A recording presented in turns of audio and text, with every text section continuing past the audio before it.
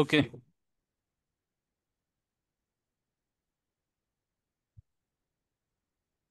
Okay good evening.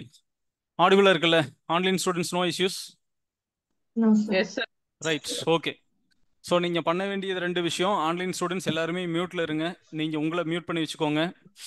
உங்களுக்கு எப்போ doubts ஏதாவது ரைஸ் ஆகுது நீங்கள் ஏதாவது கேட்கணும் அப்படின்னா அந்த சமயத்தில் மட்டும் நீங்கள் அன்மியூட் பண்ணிவிட்டு நீங்கள் உங்கள் டவுட்ஸை கேட்கலாம். ஒன்ஸ் உங்கள் டவுட் கிளாரி கிளியராக உங்களுக்கு கிடைச்சதுக்கப்புறம் ஒன்ஸ் நீங்கள் மியூட்டில் இருக்கணும்.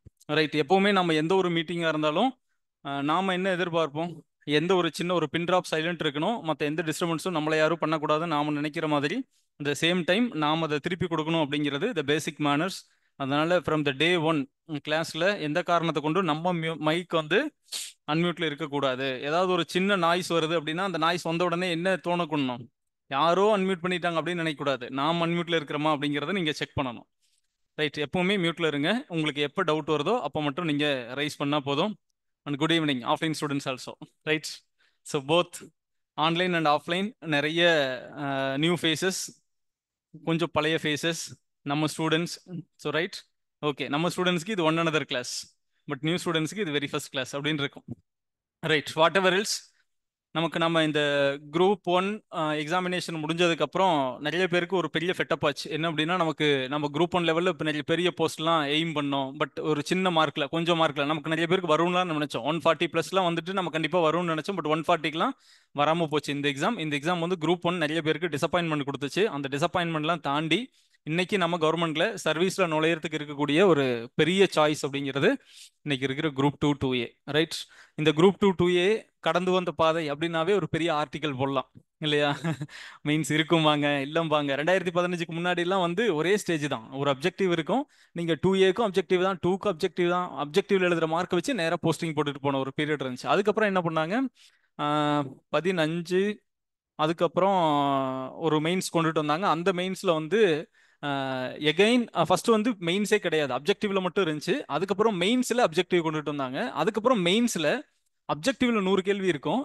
டிஸ்கிரிப்டிவ்ல நாற்பது மார்க் ஒரே ஒரு கொஸ்டின் ஒரு கொஸ்டினும் ரெண்டு கொஸ்டினும் ஃபார்ட்டி மார்க்ஸ் ஒரு அப்ஜெக்டிவ் ஒரு டிஸ்கிரிப்டிவ் அதெல்லாம் கொண்டுட்டு வந்தாங்க. அதுக்கப்புறம் ரெண்டாயிரத்தி பத்தொன்பதுல ஒரு மேஜர் சேஞ்ச் ஒன்று கொண்டுட்டு வந்தாங்க. நோ லாங்குவேஜ் அப்படின்னு கொண்டு வந்தாங்க. இனிமேல் எந்த எக்ஸாமுக்கும் லாங்குவேஜ் போர்ஷனே கிடையாது. தமிழும் கிடையாது இங்கிலீஷும் கிடையாது. வேண்டாம் அப்படின்னாங்க. அதுக்கப்புறம் லாங்குவேஜ் இங்கிலீஷ் மட்டும் வேண்டாம் அப்படின்னு சொன்னாங்க. அப்போ கடைசி என்னாச்சு? ஐயோ தமிழ் மொழிக்கு தமிழ்நாட்டில் வாழ்றதே இந்த குரூப் ஃபோர் எக்ஸாமில் டிஎன்பிஎஸ்சி எக்ஸாம்னால தான் தமிழ் எல்லாரும் படிச்சுட்டு இருக்கிறாங்க. அதுவும் போச்சுன்னா தமிழ்நாட்டில் இனி தமிழ் காப்பாற்ற ஆளே இல்லை. அதனால கண்டிப்பாக அது வேணும் அப்படிங்கிற இந்த பொலிட்டிக்கல் இன்டர்ஃபரன்ஸ் அப்படிங்கிறதுனால எகெயின் உள்ளுக்குள்ள லாங்குவேஜ் வந்துச்சு. ஸோ இது வந்து எவ்ரி இயர் நம்ம ஒரு பத்து வருஷமா ஒரு ஸ்டாண்டர்டா ஒரு பேட்டர்ன் இருக்கு. அப்போ யூபிஎஸ்சினா ஒரு பேட்டர்ன் பார்க்கலாம். இந்த பேட்டர்ன்ல தான் இப்படி தான் எக்ஸாம் இருக்கும் அப்படிங்கிறது கிளியர் கட்டா தெரியும். ஆனால் நமக்கு இப்போ டிஎன்பிஎஸ்சி பொறுத்த வரைக்கும் அந்த கிளியர் கட் பேட்டர்ன்ல நம்ம எக்ஸ்பெக்ட் பண்ணவே முடியாது. ஒவ்வொரு எக்ஸாமுக்கும் பேட்டர்ன் மாற்றுவாங்க அப்படி இப்போ நமக்கு மாற்றிருக்கிற பேட்டர்ன் போன குரூப் டூ மெயின்ஸில் ஒரு பெரிய இஷ்யூ என்ன வந்துச்சுன்னா தமிழ் மீடியம் இங்கிலீஷ் மீடியம் அப்படிங்கிற ஒரு பெரிய பார்ஷியாலிட்டி இருக்கு. மெயின்ஸ் கிளியர் பண்ற எல்லா எக்ஸாம் எல்லா ஸ்டூடெண்ட்ஸுமே இங்கிலீஷ் மீடியமா இருக்கிறாங்க. தமிழ் மீடியம் ஸ்டூடெண்ட்டுக்கு நல்ல மார்க் போடல எவாலுவேஷன்ல பார்ஷியாலிட்டி அப்படிங்கிற நிறைய பிரச்சனை இருந்துச்சு. இப்போ மெயின்ஸே வேண்டாம் அப்படிங்கிற ஒரு கேம்பெயின் பலமா போச்சு. அப்புறம் இப்போ என்ன பண்ணாங்க? மறுபடியும் டூவை தனியா பிரிச்சாங்க டூ ஏ தனியா பிரிச்சாங்க. அப்புறம் எகெயின் டூ ஏக்கு அதே மெயின்ஸ் திரும்ப அதே அப்ஜெக்டிவ் ஆனா டாபிக் மட்டும் பேரை மாத்தி இருக்கிறோம் அப்படின்னு. இப்போ என்ன சிலபஸ் வந்திருக்கு? மறு வச்சு மாறு வேஷத்துல வந்திருக்கு. அவ்வளோதான் மற்றபடி நம்ம அதே படிக்க போகிறோம் எகைன் அதே அப்ஜெக்டிவ் எழுத போகிறோம் அப்ஜெக்டிவ் இதனால் வரைக்கும் நம்ம ஓஎம்ஆரில் படித்தோம் இனிமேல் சிபிடியில் போட போகிறோம் அங்கே சிபிடி அப்படிங்கிறது ஒரு பெரிய விஷயமா பண்ணிட்டு இருக்காங்க. அதெல்லாம் ஒன்றுமே இல்லை. நீங்கள் நமக்கு நார்மலாக ஒரு கேள்வி இருக்கும். நாலு ஆப்ஷன் இருக்கும்.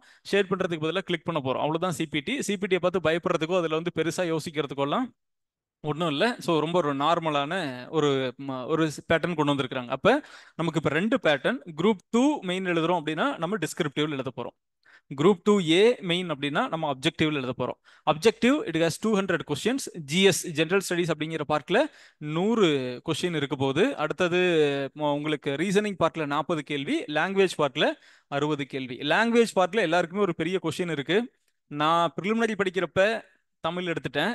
ஆனால் தமிழ் எங்களை வச்சு செஞ்சிருச்சு. அதனால இப்போ இங்கிலீஷ் மாறிக்கலாமா அப்படின்னா மாற முடியாது. அது காமனாக யாருக்கெல்லாம் அந்த டவுட் இருக்கோ அந்த டவுட் இருக்கிறவங்க கிளியர் பண்ணிக்கோங்க. நீங்கள் ப்ரிலிமினரி அப்ளை பண்ணுறப்பவே மெயின்ஸில் நீங்கள் அதே லாங்குவேஜ் தான் எடுக்க முடியும் அப்படிங்கிற ஒரு கண்டிஷன் இருக்கும். அதனால் நீங்கள் ப்ரிலிம்ஸில் இங்கிலீஷ் எடுத்திருந்தா இப்போ இங்கிலீஷ் தான். ப்ரிலிம்ஸில் தமிழ் எடுத்திருந்தீங்கன்னா இப்போ தமிழ் தான். அதனால் லாங்குவேஜை நம்ம மாற்ற முடியாது. அதே லாங்குவேஜ் தான் நம்ம கண்டினியூ பண்ண போகிறோம் பாயிண்ட் நம்பர் ஒன் ரெண்டாவது அப்ஜெக்ட் டிஸ்கிரிப்டிவ்ல குரூப் டூ மெயின்ஸ் அப்படிங்கிறது முழுக்க முழுக்க டிஸ்கிரிப்டிவ்ல எழுத போறோம். இப்போ எல்லாருக்கும் பெரிய பயம் என்னன்னா டூ ஏல சிபிடின்னு ஒரு பயம். சிபிடி எல்லாம் ஒண்ணுமே இல்லை. நம்ம சரக்கு இருக்கணும் அவ்வளவுதான். கேள்வியை பார்த்தா பதில் தெரியணும். அது நீங்க எதுல வேணாலும் நம்ம சொல்லிக்கலாம். ஓரலா கேளுங்க சிபிடியில் கேளுங்க. எதுல கேட்டாலும் நான் வி ஷுட் பி ரெடி அவ்வளவுதான். மெயின்ஸ் எழுதுறப்ப டிஸ்கிரிப்டிவ் எழுதுறப்ப டிஸ்கிரிப்டிவ் செஷனுடைய ரொம்ப முக்கியமான பயமே திரும்ப எழுதணும் அப்படிங்கிறது. நாம எங்கேயும் எழுதாமலாம் வரல. நம்ம டென்த் ஸ்டாண்டர்டில் பப்ளிக் எக்ஸாம் எழுதியிருக்கிறோம். டுவெல்த் ஸ்டாண்டர்ட் எக்ஸாம் எழுதியிருக்கிறோம். காலேஜில் நாலு வருஷம் எட்டு செமஸ்டர் பக்கம் பக்கமாக ஸ்டோரி எழுதியிருக்கிறோம். இல்லையா? நமக்கு வெறும் நாற்பது நிமிஷம் கொடுத்தா நாற்பது மார்க் வாங்கி பாஸ் பண்ணுவது எப்படி? அப்படிங்கிற கலையெல்லாம் நமக்கு ரொம்ப நல்லா தெரியும். அதுவும் மேக்ஸிமம் குரூப் டூ கேண்டிடேட்ஸ் அப்படிங்கிறவங்க எல்லாருமே இன்ஜினியரிங் நீங்கள் என்னது? இன்ஜினியரிங்கா இன்ஜினியரிங் நீங்கள் engineering MSc physics engineering engineering so majority engineering தான். ஸோ எல்லாருமே இன்ஜினியரிங் தான். அதனால இவங்களுக்கு நமக்கு எழுதுறது அப்படிங்கிறது ஒரு விஷயமே இல்லை. அதனால நீங்கள் அதை பற்றி கவலைப்பட வேண்டாம். அப்போ குரூப் டூ ஏல ஒரு கன்ஸ்ட்ரெயின் இருக்குல்ல. ப்ரிலிமினரியில் நீங்கள் என்ன லாங்குவேஜ் எடுத்தீங்களோ அதே தான் நீங்கள் மெயின்ஸ்க்கு இங்கே எழுதணும் அப்படின்னு. ஆனால் குரூப் டூ மெயின்ஸில் அந்த கன்ஸ்ட்ரெயின் கிடையாது. நீங்கள் அங்கே லாங்குவேஜ் தமிழ் எடுத்துருக்கலாம் இங்கிலீஷ் எடுத்துருக்கலாம். பட் இங்கே உங்களுக்கு எந்த லாங்குவேஜ் கன்வீனியண்ட்டாக வருமோ அந்த லாங்குவேஜ் எடுத்து நீங்கள் குரூப் டூ மெயின்ஸ் எழுதலாம். ஸோ எழுதுறது ரைட்டிங் ப்ராக்டிஸ் அப்படிங்கிறது பயப்படுற அளவுக்கு ஒன்றும் இல்லை. ஆனால் நம்ம காலேஜ் டேஸில் எழுதுனது வெறும் பாஸ் மார்க் வாங்குறதுக்கு நாற்பது மார்க் எப்படி பண்ணுனா வாங்க முடியும் அப்படின்னு. கொஷின் பேப்பரையே திரும்ப புள்ளி வச்சு புள்ளி வச்சு பாயிண்ட் பாயிண்டா போட்டு எழுதி பாஸ் பண்ண கதையெல்லாம் இருக்கு இன்ஜினியரிங்ல இன்ஜினியரிங் கரெக்ஷன் அப்படிங்கிறது கரெக்ஷனுக்கு ஒரு எபிட்டோம்னு சொல்லுவாங்க. அந்த மாதிரியான ஒரு கரெக்ஷன் வெறும் கொஸ்டின் பேப்பரை திரும்ப திரும்ப எழுதி வச்சு ஒன்றரை பக்கம் ஃபில்அப் பண்ணி ஏழரை மார்க் வாங்கி பாஸ் பண்ண கதையெல்லாம் இன்ஜினியரிங்ல இருக்குது. நான் மாஸ்டர்ஸ் நான். நான் எம்டெக் ஸோ இதெல்லாம் அதனால இந்த மாதிரி நிறைய பேர்த்த பார்த்துருக்குறோம். யூஜி பிஜி பட் நான் படித்தது எல்லாமே அண்ணா யூனிவர்சிட்டி அப்படிங்கிறதால அங்கெல்லாம் இந்த கதை நடக்கவே நடக்காது.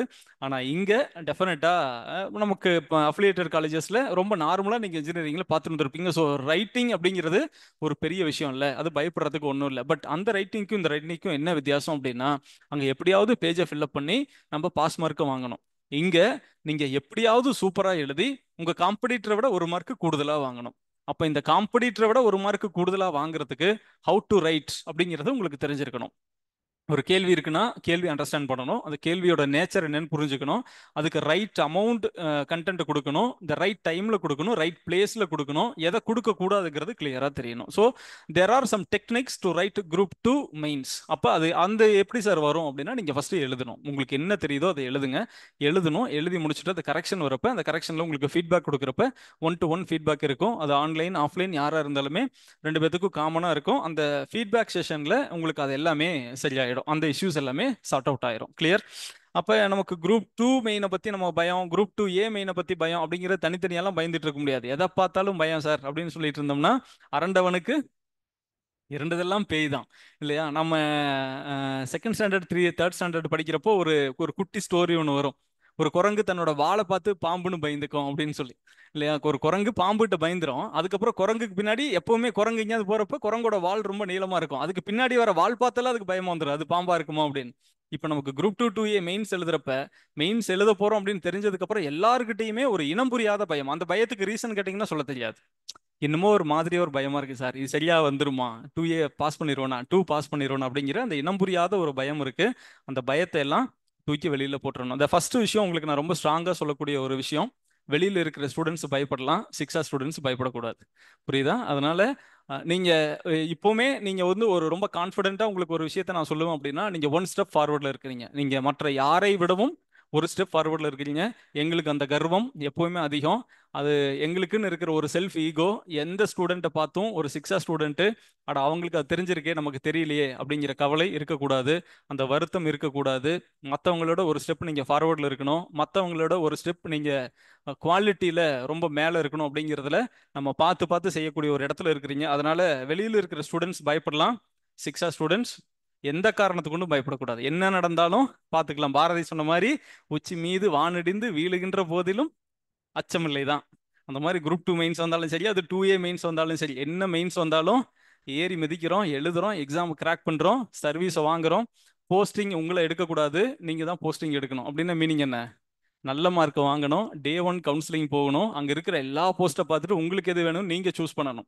கடைசி நாள் கவுன்சிலிங் போகக்கூடாது. ஏதாவது ஒரு வேலை கிடைச்சா போதும்னு எடுக்கக்கூடாது. அப்போ நம்ம we should get good marks அப்படிங்கிறப்ப டே ஒன்லேருந்து நம்ம நல்லா ப்ராக்டிஸ் பண்ணணும். இதுதான் பேசிக்காக உங்களுக்கு நான் சொல்லக்கூடிய விஷயம். கிளியர் ரைட்ஸ் இப்போ இந்த ஆஃப்லைன் ஸ்டூடெண்ட்ஸ் நிறைய பேர் என்ரோல் பண்ண முக்காவாசி ஆஃப்ரோல் ஸ்டூடெண்ட் ஆஃப்லைன் ஸ்டூடெண்ட்ஸ் இன்னைக்கு கிளாஸ்க்கு வரல. ஏன் வரல? ஏன் வரலன்னா கிளாஸ்ல இல்லாம இல்ல. எல்லாரும் ஆன்லைன்ல இருக்கிறீங்க. யாரெல்லாம் இருக்கிறீங்கன்னு எல்லாத்தையும் நான் பார்த்துட்டேன். எல்லாரும் ஆன்லைன்ல இருக்கிறீங்க. ரைட் ஆன்லைன் அப்படிங்கிறது யாரெல்லாம் கோயம்புத்தூர் வர முடியலையோ யாரெல்லாம் ஆஃப்லைன் வர முடியலையோ யாருக்கெல்லாம் அர்ஜென்சி இருக்கோ அந்த சமயத்தில் அவங்க வெளியூர்ல இருக்கிறவங்களோட கன்வீனியன்ட்டுக்காக வந்தது தான் ஆன்லைன் ரைட் இங்க நம்ம இன்ஸ்டியூட்டுக்கு அடுத்த தெருவில் இருக்கிற ஆளுங்கெல்லாம் உள்ள ஆஃப்லைன்ல உட்காந்துருக்கீங்க அவ்வளோ சௌரியமாயிருச்சு ஆன்லைன் இல்லை ரைட் அடுத்த கிளாஸ்ல இருந்து ஆஃப்லைன் ஸ்டூடெண்ட்ஸ் யாரெல்லாம் ஆஃப்லைன் என்ரோல் பண்றீங்களோ எல்லாரும் ஆஃப்லைன் வந்துருங்க. வெளியூர் வெளி மாவட்டங்கள் அது ஓகே ஆன்லைன் ஓகே ஆனால் நீங்கள் எல்லாரும் இங்கே ஆஃப்லைனில் இருக்கிற ஆளுங்க வரிசையாக ஒரு ரோ ஃபுல்லாக இங்கே ஆஃப்லைன் என்ற என்ரோல்மெண்ட் தான் ஆன்லைனில் இருக்கீங்க. அது இருக்கக்கூடாது. ஆஃப்லைனுக்கு வந்துருங்க. டெஸ்ட் எழுத மட்டும் வரேன் சார் இந்த கதையெல்லாம் இருக்கக்கூடாது. ஆஃப்லைன் கிளாஸஸ் கரெக்டாக வந்துடணும் ஓகே ரைட் ஸோ இந்த கிளாஸஸை பொறுத்த வரைக்கும் இன்னைக்கு இந்த டே ஒன் அப்படின்னா இந்த ஓரியன்டேஷன் செஷனில் உங்களுக்கு நான் சொல்லக்கூடிய விஷயங்கள் what we are going to do for next three six months அடுத்த ஆறு மாதங்களுக்கு நம்ம என்ன செய்ய போகிறோம் நம்ம பிளான் எப்படி இருக்கும்? நம்ம ஸ்டடி பிளான் எப்படி இருக்கும்? நீங்கள் என்ன செய்யணும்? உங்களுக்குங்கிறது என்ன சப்போர்ட் கிடைக்கும்? இந்த எல்லா விஷயங்களை பற்றியும் ரொம்ப கிளியர் கட்டாக நீங்கள் எடுத்துக்கோங்க. எண்ட் ஆஃப் த செஷன் இந்த வாரத்துக்கான கிளாஸ் ஷெடியூல் எல்லாமே உங்களுக்கு கொடுத்துருவோம். அந்த ஷெடியூலை நீங்கள் ஃபாலோ பண்ணிக்கிட்டே வரணும். கிளியர் ரைட் இப்போ நமக்கு டூ ப்ளஸ் டூ ஏ அப்படிங்கிற ரெண்டு விஷயம் இருக்குது இப்போ டூக்கு தனியாக நான் ப்ரிப்பேர் பண்ணணும் டூ ஏக்கு தனியாக ப்ரிப்பேர் பண்ணணுமா அப்படின்னா அப்படிலாம் தேவையில்லை. ஆல்மோஸ்ட் உங்களுக்கு இப்போ நீங்கள் கிளாஸ் முடிச்சுட்டு போகிறப்ப வெளியில் அட்மின் வந்து உங்களுக்கு ஒரு பிரிண்ட் அவுட் கொடுப்பாங்க. ஆன்லைன் ஸ்டூடெண்ட்ஸ் உங்களுக்கு வந்து அந்த comparison and syllabus split up அப்படிங்கிறது உங்களுக்கு சாஃப்ட் காப்பியாக வந்துடும் நீங்கள் ஜஸ்ட் ஒரு பிரிண்ட் அவுட் போட்டுக்கோங்க. நீங்கள் வெளியில் போகிறப்ப மறக்காமல் காப்பி வாங்கிக்கோங்க. அந்த காப்பியில் உங்களுக்கு டூக்கும் டூ ஏக்கும் ரெண்டு மெயின்ஸ்லையும் என்னென்ன டாபிக்ஸ் எல்லாம் காமனாக இருக்குது ரெண்டுலேயுமே இதுலையும் இருக்குது இதுலையும் இருக்குது இதுலையும் இருக்குது இதுலையும் இருக்குது அப்படிங்கிறது எல்லாமே உங்களுக்கு ஒரு டேபிளர் காலம் போட்டு கொடுத்துருப்போம். அதில் எக்ஸ்க்ளூசிவாக குரூப் டூக்கு என்ன இருக்குது எக்ஸ்க்ளூசிவா குரூப் டூ ஏக்கு என்ன இருக்குது அப்படிங்கிறது கிளியர் கட்டா இருக்கும். கிளியர் அப்போ நமக்கு டூக்கும் டூ ஏக்கும் காமன் அப்படிங்கிற கேட்டகரியில பார்த்தா சிலபஸ் ஆல்மோஸ்ட் சிமிலராக இருக்குது நிறைய விஷயங்கள். ஒரு செவன்டி ஃபைவ் பர்சன்ட் வச்சுக்கலாமே. செவன்டி ஃபைவ் பர்சன்ட் ரெண்டுக்குமே சிமிலர் அப்போ அந்த ரெண்டுக்குமே சிமிலராக இருக்கிறப்ப நம்ம ஒவ்வொரு டாப்பிக்கும் இன்டெப்த் டீட்டெயில் உங்களுக்கு கிளாஸ் இருக்கும். அந்த கிளாஸ்ல நீங்கள் நோட் பண்ணிக்கலாம். கிளாஸ்ல நீங்கள் டிஸ்கஸ் பண்ணலாம். உங்களுக்கு என்ன டவுட் இருக்கோ அதெல்லாமே கேட்டுக்கலாம். ஒன்ஸ் அந்த கண்டென்ட் எல்லாமே படித்து முடிச்சதுக்கப்புறம் நீங்கள் அதே போர்ஷனை டூவில் நான் உங்களுக்கு அது கொஸ்டினாக ஃப்ரேம் பண்ணி கொடுக்குறோம். அந்த கொஸ்டின்ஸ்க்கு நீங்கள் ஆன்சர் எழுதணும். டிஸ்கிரிப்டிவாக எழுதணும். அந்த சேம் போர்ஷனுக்கு உங்களுக்கு அப்ஜெக்டிவாக டெஸ்ட் கொஷின்ஸ் இருக்கும். அந்த கொஷின்ஸில் நீங்கள் டூ ஏக்கு அப்ஜெக்டிவ் ப்ராக்டிஸ் பண்ணணும். ஸோ சைமில்டேனியஸாக ரெண்டுமே பண்ணலாம். ரெண்டும் கஷ்டம்லாம் கிடையவே கிடையாது. ரெண்டும் ரொம்ப ஈஸி நீங்கள் இப்போ ஆஃப்லைன் வரவங்க முந்தின நாள் வந்து டூ எழுதிடுங்க அடுத்த நாள் வந்து டூ ஏ எழுதுங்க. இல்லை காலையில் வந்து டூ எழுதுங்க. மத்தியானம் டூ ஏ எழுதுங்க. Online students also the same உங்களுக்கும் அதே தான் ரூல் அதனால அந்த இன்டர்னலாக உள்ளுக்குள்ள அந்த டைம் டேபிளை நம்ம அட்ஜஸ்ட் பண்ணிக்கலாம். அது வந்து ப்ராப்ளமே கிடையாது. ரைட் அடுத்தது இதில் நம்ம என்ன பண்ண போகிறோம் அடுத்த ஆறு மாதம் அப்படின்னா இன்னைக்கு நமக்கு ஒரு கியூரியாசிட்டி இருக்குல்ல. இன்னையிலிருந்து நம்ம ப்ராப்பராக படிக்க ஆரம்பிக்கிறோம். டூ வரைக்கும் எப்படியும் நம்ம நல்ல மார்க் வாங்கிட்டோம். ஆனால் இதுக்கு மேலே நம்ம படித்து இந்த தடவை மிஸ் பண்ணிடவே கூடாது அப்படிங்கிற ஒரு கியூரியாசிட்டி இருக்குல்ல. இந்த ஆர்வமும் இந்த இந்த கியூரியாசிட்டியும் அடுத்த ஆறு மாதத்துக்கும் ஒரு நாளும் குறையக்கூடாது ரைட் இன்னைக்கு நம்ம என்ன ஆர்வத்தோட ஒரு தொடங்க போறோமோ இன்னைக்கு நம்ம பிள்ளையார் சொல்லிலாம் போட்டு ஒரு புது நோட்டெல்லாம் வாங்கி கோயிலுக்குலாம் போயிட்டு எல்லா எல்லா வேலையும் பார்த்துருப்போமே ஃபர்ஸ்ட் டே கிளாஸ்க்கு அப்படிங்கிறதுக்காக இல்லையா? எப்போவுமே நமக்கு ஸ்கூல் டேஸில் நம்ம கவனிச்சு பார்த்தோம்னா ஒரு குவார்டர்லி லீவோ ஹாஃப் இயர்லி லீவோ லீவ் முடிச்சுட்டு போகிற அந்த ஃபர்ஸ்ட் டே பயங்கர எந்துவாக இருக்கும். ஃப்ரெண்ட்ஸ் எல்லாம் பார்த்து ரொம்ப நாள் ஆச்சு கிளாஸ் போகிறோம் யார் நமக்கு புது டீச்சர் வருவாங்க? யார் கிளாஸ் டீச்சர் வருவாங்க அப்படின்னு. போய் மூணாவது நாள் அந்த எந்தூர்லாம் படுத்துறோம் அவ்வளோதான் அப்புறம் போகணுமா இன்னைக்கு ஸ்கூலுக்கு அப்படிங்கிற மாதிரி இருக்கும். ஸோ அது குறையவே கூடாது. இங்கே வந்து நாம் கஷ்டப்படுறது ரொம்ப ரீசன்ட் டைம்ஸில் நான் ஒரு இன்டர்வியூ பார்த்தேன். இப்போ ரொம்ப நல்ல ஒரு படம் ஒரு மூவி போயிட்டு இருக்கு லப்பர் பந்து அப்படின்னு ஒரு மூவி போயிட்டு இருக்கு அந்த மூவியோட டைரக்டர் ஒரு இன்டர்வியூ கொடுத்துருக்காரு அந்த இன்டர்வியூவில் அவர் ஒரு விஷயம் சொன்னார். உங்களோட லைஃப்பில் நீங்கள் ஏதாவது கஷ்டப்பட்டுருக்கிறீங்களா? அப்படின்னாரு. அவர் ஒரு ஆச்சரியமாக ஒரு பதில் சொன்னார். நான் நிறைய கஷ்டப்பட்டிருக்கேன். ஆனால் அந்த கஷ்டத்தை எல்லாத்தையும் எதையுமே நான் சொல்கிறதுக்கு நான் விரும்பலை. நான் நிறைய கஷ்டப்பட்டுருக்கிறேன் ஆனால் சொல்ல விரும்பலை. ஏன் அப்படின்னா நான் பட்ட கஷ்டமெல்லாம் இன்னைக்கு நான் நல்ல நிலைமையில இருக்கணும் அப்படிங்கிற டார்கெட்டை நான் என் மனசில் வச்சுக்கிட்டு அதுக்காக நான் கஷ்டப்பட்டேன். நான் நல்லா இருக்கணும்னு நான் பட்ட கஷ்டத்தை நான் ஏன் வெளியே சொல்லணும்? நான் கஷ்டப்பட்டேன் நீங்கள் நல்லா இருக்கிறேன். நான் நினச்ச ரிசல்ட்டுக்கு நான் வந்துட்டேன். அவ்வளோதான் நான் நாட்டுக்காக கஷ்டப்படல அப்படின்னு. ஸோ த சேம் திங் நீங்களும் அடுத்த ஆறு மாதத்துக்கு சில விஷயங்களில் ஸ்ட்ரகிள் பண்ணுவீங்க சில விஷயத்தில் போராடுவீங்க. ஆனால் எல்லா விஷயத்தையும் கடந்து அது யாருக்காக பண்ணுறீங்க the end of the day அந்த ஃபைனல் ரிசல்ட் அந்த ஃபைனல் ஃப்ரூட் யாருக்கு வந்து கிடைக்க போகுது? டெஃபினட்டாக உங்களுக்கு தான். உங்களுக்கு முன்னாடி இன்னைக்கு நீங்கள் உங்கள் பேர் மட்டும் என்ரோல் பண்ணுறீங்க அடுத்தது ஆறு மாதம் கழிச்சு உங்களுக்கு பேருக்கு பின்னாடி ஒரு பவர்ஃபுல்லான ஒரு டெசிக்னேஷன் இருக்கும். ஒரு கவர்மெண்ட் ஆஃபீஸர் அப்படிங்கிற ஒரு பதவி இருக்கும். உங்களுக்குள்ள ஒரு சொசைட்டியில் ரெகக்னைசேஷன் இருக்கும். உங்கள் வீட்டுக்குள்ளே பயங்கர மரியாதை இருக்கும். இது வரைக்கும் உங்களை இப்படியெல்லாம் பார்த்தவன் நாளைக்கு அப்படி பார்ப்பான் அண்ணாந்து பார்ப்பான். எனக்கு அப்போவே தெரியுங்க. அவன்லாம் பாஸ் பண்ணிடுவான் இல்லையா? அதுக்கெல்லாம் எல்லா வாயும் இருக்கும். இது ஆகவே ஆகாது. நானும் அந்த முட்டுச்சந்தில் உட்காந்து சொல்லிட்டு இருப்பான் நாலு பேர். டிஎன்பிஎஸ்சி எல்லாம் படிச்சு பாஸ் பண்றது அதெல்லாம் ஆகாதுங்க. அதெல்லாங்க பணம் கொடுத்து எல்லாம் வேலை வாங்கிடுவாங்க அப்படி இதெல்லாம் இந்த ஊர்ல இருக்கிற வேலை செய்ய வளையாதவன் எல்லாருமே சொல்ற காமன் டாக்ஸ் அந்த காமன் டாக் பேசிட்டு இருக்கிறோம் அதே இடத்துல உட்காந்துருப்பான் அந்த கிலோமீட்டர் கல் ஒன்று இருக்குல்ல ரோட்ல போறப்ப நீங்க பாத்தீங்கன்னா சைட்ல சேலம் நூறு கிலோமீட்டர் அப்படின்னு ஒரு கல் இருக்கு. அந்த கல் நகருமா? நகரவே நகராது. உங்களை கிரிட்டிசைஸ் பண்றோம் அப்படிதான். கல் மாதிரி தெருக்கல் மாதிரி அதே இடத்துல உட்காந்துருப்பாங்க கிரிட்டிசைஸ் பண்ணிட்டே இருப்பாங்க. அதை கடந்து போயிருங்க. உங்களை தினம் உங்களை பாராட்டி சீராட்டி பயங்கர எந்தூ பண்ணி உங்களை அப்படியே பயங்கர மோட்டிவேட் பண்ணி வெறி ஏற்றி உங்களை தினம் இங்கே அனுப்பிவிடுவாங்கன்னு நினைக்கிறீங்களா? வீட்டில் கிளம்பி இன்ஸ்டியூட் வரதுக்குள்ள பத்து இடத்துல உன்னால் முடியாது இது ஆகாது இது தேவையில்லாத வேலை நீங்களாம் படிக்க முடியாது இதெல்லாம் நம்ம தினம் கிராஸ் பண்ணி தான் வரோம் எல்லா இடத்துலையுமே அது ஃபேமிலியில் இருக்கலாம் சொசைட்டியில் இருக்கலாம் ஃப்ரெண்ட் சர்க்கிளில் இருக்கலாம் உண்மையிலேயே கூடவே பசுத்தோல் பொருத்திய புலியெல்லாம் இருக்கும். நல்ல மாதிரியே கூட இருந்துட்டு எங்கடா இவன் மட்டும் முன்னேறிடுவானா? இதுக்கு இவனை எப்படியாவது இழுத்து விடலாமான்னு பார்க்குறவன் நிறைய நீங்கள் இது எல்லாத்தையுமே தாண்டி தான் நம்ம படிக்க ஆரம்பிக்கிறோம். ஸோ இது எல்லாத்தையும் தாண்டி படிக்கணும்னா அடுத்த ஆறு மாதத்துக்கு உங்களுக்கு ஸ்டாண்டர்டாக இருக்க வேண்டிய ஒரு மோட்டிவேஷன் ஃபேக்டர் அப்படிங்கிறது கன்சிஸ்டன்ட் அந்த கன்சிஸ்டன்சியை விட்டுறவே கூடாது. இன்னையிலிருந்து நம்ம வரோம். இன்னையிலிருந்து படிக்க ஆரம்பிச்சிட்டோம். தினம் நாலு மணி நேரம் படிக்கிறோம் அப்படின்னா final examination group two two A மார்ச்சில் எழுதி முடிக்கிற வரைக்கும் அந்த கன்சிஸ்டன்சி மிஸ் ஆகக்கூடாது. தினம் மூணு நேரம் சாப்பிட்றோம். தினம் எட்டு மணி நேரம் தூங்குறோம். தினம் நாலு மணி நேரம் படிக்கிறோம். தினம் அஞ்சு மணி நேரம் படிக்கிறோம் அப்படின்னு ஃபிக்ஸ் பண்ணால் மூணு வேலை சாப்பிட்ருவோம் சார். தூங்கிடுவேன் சார். நான் இந்த படிக்கிறது மட்டும் ஆசிலேஷனாக இருக்குது மேலே போகுது கீழே வருது. இந்த கிராஃப் மட்டும் கரெக்டாக இல்லை. அது இருக்கவே கூடாது. அதனால டெய்லி நீங்கள் என்ன டைம் ஃபிக்ஸ் பண்ணுறீங்களோ அத்தனை மணி நேரம் படிக்கணும். முடிஞ்சால் ஐந்து நிமிடமாவது ஒவ்வொரு நாளும் அடுத்த நாள் முந்தின நாளை விட கூடுதலாக படிங்க.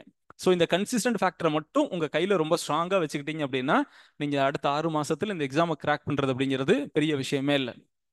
வள்ளுவர் சொல்லுவார் ஒரு செயல் செய்யறதுக்கு முன்னாடி நாலு இடத்த யோசிக்கணும்னு சொல்லுவாங்க. என்னென்ன? என்ன நாலு விஷயத்த யோசிக்கணும்? ஒருத்தன் வெற்றிகரமா ஒரு செயலை முடிக்கணும். என்ன செய்யணும்?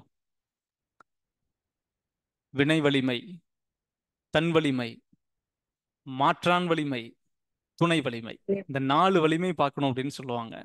வினை வலிமை அப்படின்னா அந்த செயலுக்கு இருக்கக்கூடிய ஒரு பலம். அந்த செயல் அப்படிங்கிறது இங்க வினை அப்படிங்கிறது டிஎன்பிஎஸ்சி எக்ஸாம் தான். அப்போ அந்த எக்ஸாமோட ஸ்ட்ரென்த் என்ன? அவங்க என்ன எதிர்பார்க்குறாங்க? டிஎன்பிஎஸ்சி தான் உங்களுக்கு காம்படிட்டர் அந்த இடத்துல நீங்கள் டிஎன்பிஎஸ்சி அடித்து சாய்க்கணும்னா அதோட ஸ்ட்ரென்த் என்னன்னு முதல்ல உங்களுக்கு தெரியணும். அப்போ ரொம்ப ஸ்ட்ரென்த்தாக இருக்குது நாளுக்கு நாள் வர எல்லா எக்ஸாமினேஷனும் டஃப்னஸ் அதிகமாகிக்கிட்டே இருக்குது ரொம்ப ஸ்ட்ரென்த்தாக இருக்குது ஓகே வினை வலிமை தெரிஞ்சிருச்சு. அடுத்தது தன் வலிமை. நமக்கு என்ன தெரியும்? படுபயங்கரமா கேள்வி கேட்குறானுங்க துவை வேட்டி அளவுக்கு கேட்டு துவைக்கிற அளவுக்கு போயிட்டாங்க.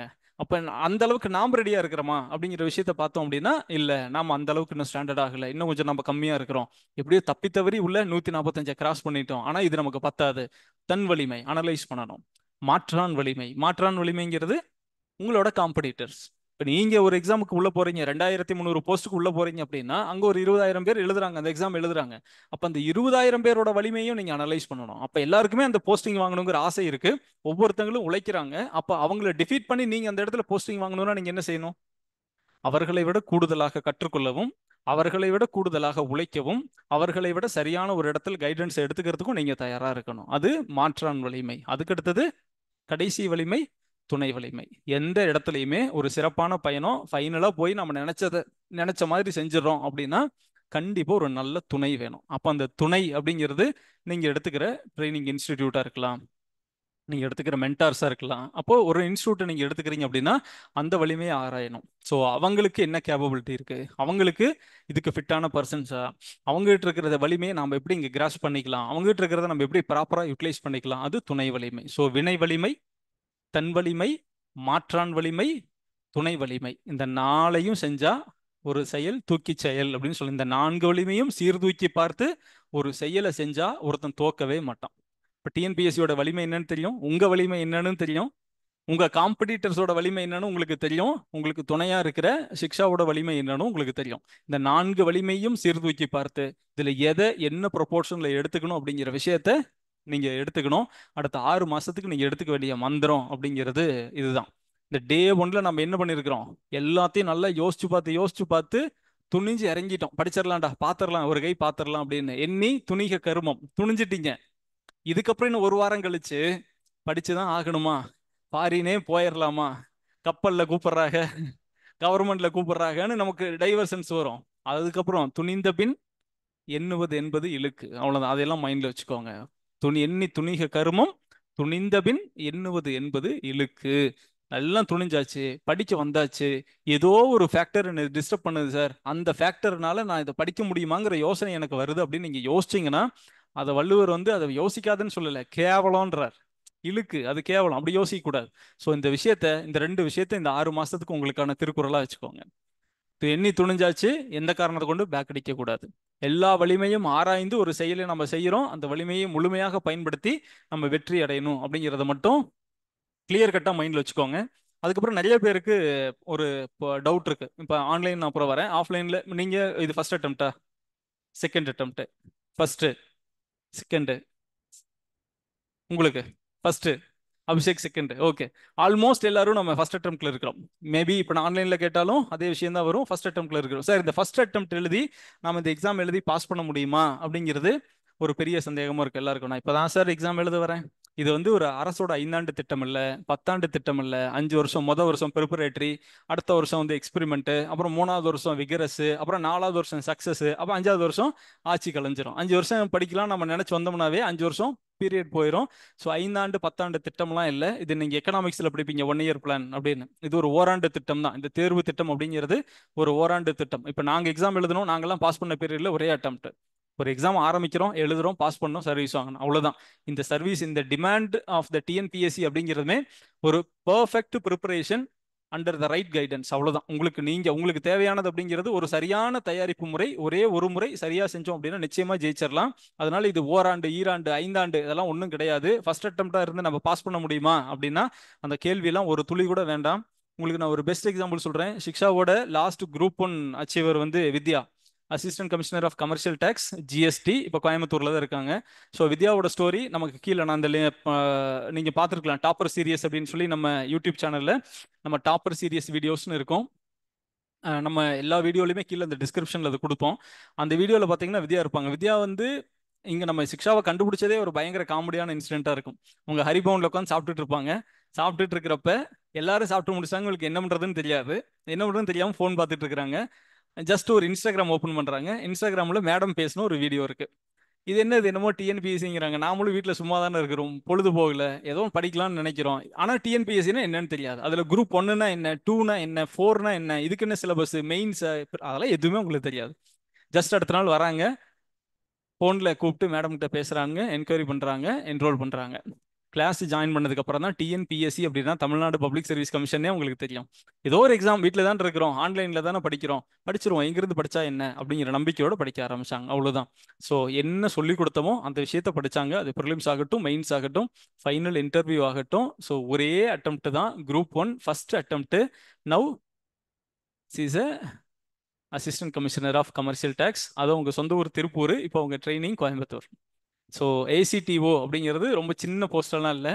தமிழ்நாடு சிவில் சர்வீஸில் இருக்கிற ஒன் ஆஃப் த பெரிய போஸ்ட்டு அந்த போஸ்ட்டு அதைவே ஃபஸ்ட் அட்டம்ப்டில் பாஸ் பண்ண முடியும். ஸோ இது குரூப் ஒனுக்கு எக்ஸாம்பிளுக்கு சொல்கிறேன் குரூப் டூவில் lot of examples are other சுந்தரேஸ்வரின்னு ஒரு பொண்ணு நம்ம பொண்ணு ஹோம் நர்சிங் கம்ப்ளீட்டாக ஆறு டு நைட் ஒன்பது கிட்டத்தட்ட daily twelve hours nursing duty பார்த்துட்டு அதுக்கப்புறம் படிச்சாங்க. அது ப்ரிலிமினரி ஆகட்டும் மெயின்ஸ் ஆகட்டும் ஒவ்வொரு வாட்டியும் ஃபோன் பண்ணி கேட்குறப்ப சார் இந்த ஒரே ஒரு கான்செப்ட் மட்டும் எனக்கு கொஞ்சம் டவுட் இருக்குது சார் கேட்டுக்கிட்டா சார் கேட்டுக்கிட்டா சார்னு. உண்மையிலேயே அந்த டெடிக்கேஷன்லாம் யோசிக்கவே முடியாது. அந்த ஆர்வம் தான் எங்களை இன்னும் அதிகமாக வேலை செய்ய தூண்டும். சுந்தரேஸ்வரி நான் இப்போ குரூப் டூ கிளியர் பண்ணி ட்ரெஸ்டடியில் ஒர்க் பண்ணுறாங்க நிறைய பேர். விஜய் பிரியா விஜய் பிரியா இப்போ சர்வீஸ்ல இருக்காங்க இந்த பேச்சுல கிளாஸ்ல இருக்காங்க. Sushmita last group two clear பண்ணிட்டு இப்போ குரூப் ஒன் மெயின்ஸ்ல ப்ராக்டிஸ் பண்ணிட்டு இருக்காங்க. Lot of students lot of students நான் இப்போ சொல்றது சும்மா ரெண்டு மூணு சாம்பிள் தான் சொல்லிட்டு இருக்கிறேன். உங்களுக்குள்ள நிறைய ஸ்டூடெண்ட்ஸ் இருக்காங்க. ஸோ உங்களுக்கு எப்பெல்லாம் டல் ஆகுதோ அப்பெல்லாம் எதையும் பண்ண வேண்டாம். கீழே போய் டாப்பர் சீரியஸ்னு இருக்கும். அந்த சீரியஸ்ல இருக்கிற ஒரு ஒரு வீடியோவும் பாருங்க. ஒவ்வொருத்தங்க கிட்ட இருந்தும் ஒன்று கற்றுக்கொள்ளவும் பெற்றுக்கொள்ளவும் சத்தியமா ஒன்று இருக்கும். அந்த விஷயம் ஒன்று இல்லாமல் ஒருத்தங்க ஜெயிக்கவே முடியாது. ஒருத்தன் பிளெயினா வந்து ஜெயிக்கவே முடியாதுங்க. ஒவ்வொருத்தங்களோட ஸ்டோரியிலையும் நீங்க உங்களுக்கு எடுத்துக்கிறதுக்கு உங்களுக்கு தகுந்த மாதிரி கஸ்டமைஸ் பண்ணி எடுத்துக்கிறதுக்கு ஒரு விஷயம் இருக்கும். ஸோ அந்த விஷயம் இல்லாம எந்த ஒரு சக்சஸுமே இருக்காது. அந்த சக்சஸ்ஃபுல் பர்சன்ஸோட வீடியோஸ் அப்படிங்கிறது கீழே டாப்பர் சீரீஸ்ல இருக்கு. அதை நம்ம எல்லாருமே பார்க்கலாம். நீங்க எப்போ வேணாலும் போய் பார்க்கலாம். அது ஒன்று பாருங்க. ஸோ நமக்கு ஒரு காமனா ஒரு விஷயம் சொல்லுவோம். நம்ம நிறைய ஸ்ட்ரகிள் பண்ணி வந்திருப்போம். ஆனால் நம்ம ஏதாவது இப்போ நீங்கள் போய் சொன்னீங்கன்னு வச்சுக்கோங்க. ரெண்டு வார்த்தை நீங்கள் சொல்ல ஆரம்பிச்சிங்கன்னா மனசுக்குள்ள அவன் என்ன நினைப்பான்? இவன் கதையை புலம்ப ஆரம்பிச்சிட்டான்டா. இதுக்கு மேலே நம்ம இடத்த காலி பண்ணுவோம் அப்படின்னு சொல்லிடுவாங்க இதுவே ஒன்ஸ் நீங்கள் ஜெயிச்சதுக்கப்புறம் நீங்கள் சொன்னீங்கன்னு வச்சுக்கோங்க. ஆ அப்படியா அப்படியா அப்படியா அப்படின்னு எல்லாமே ஆச்சரியமாக கேட்பாங்க. ஸோ எப்போவுமே உலகத்தில் நாம் நம்ம கஷ்டத்தை சொன்னால் இன்னொருத்தன் கேட்கணும்னு சொன்னால் கூட நம்ம தோல்வி கதைகளை கேட்கணும்னு சொன்னால் கூட அதுக்காக வச்சு நம்ம ஜெயிச்சிருக்கணும். ஜெயிச்சாதான் ஒருத்தன் கதையை கேட்பான். ஜெயிச்சாதான் நீங்கள் பேசுகிற வார்த்தைக்கு மதிப்பு இருக்கும். ஜெயிச்சதுக்கப்புறம் உங்கள் வார்த்தைக்கான வேல்யூவே வேற. அதே வார்த்தையை அதை விட பவர்ஃபுல்லாக நீங்கள் ஸ்ட்ரகிள் பீரியடில் சொல்லியிருப்பீங்க. அந்த வார்த்தைக்கு வேல்யூவே இருக்காது. இந்த ஃபீல்டை பொறுத்த வரைக்கும் இதுதான் நிதர்சனம். நான் படிச்சுக்கிட்டு இருக்கிறப்ப என்னை எல்லாரும் ஆகா ஓகோன்னு பாராட்டணும் என்னை பயங்கரமாக ரெகக்னைஸ் பண்ணணும் அப்படின்லாம் எந்த இடத்துலையும் எதிர்பார்க்காதீங்க. அது ஏமாற்றத்தில் தான் முடியும். ஃபஸ்ட்டு விஷயம் உங்களோட படிப்புக்கும் நீங்கள் போடுற எஃபர்ட்ஸை பற்றி யாருக்குமே எதுவுமே தெரியாது. நீங்க ஒரு டாபிக் படிக்கிறதுக்கு ஒரு பர்டிகுலர் டாப்பிக்கே நாலு மணி நேரம் அஞ்சு மணி நேரம் தேடி சர்ச் பண்ணி ஒரு விஷயம் நீங்க படிச்சுட்டு இருப்பீங்க.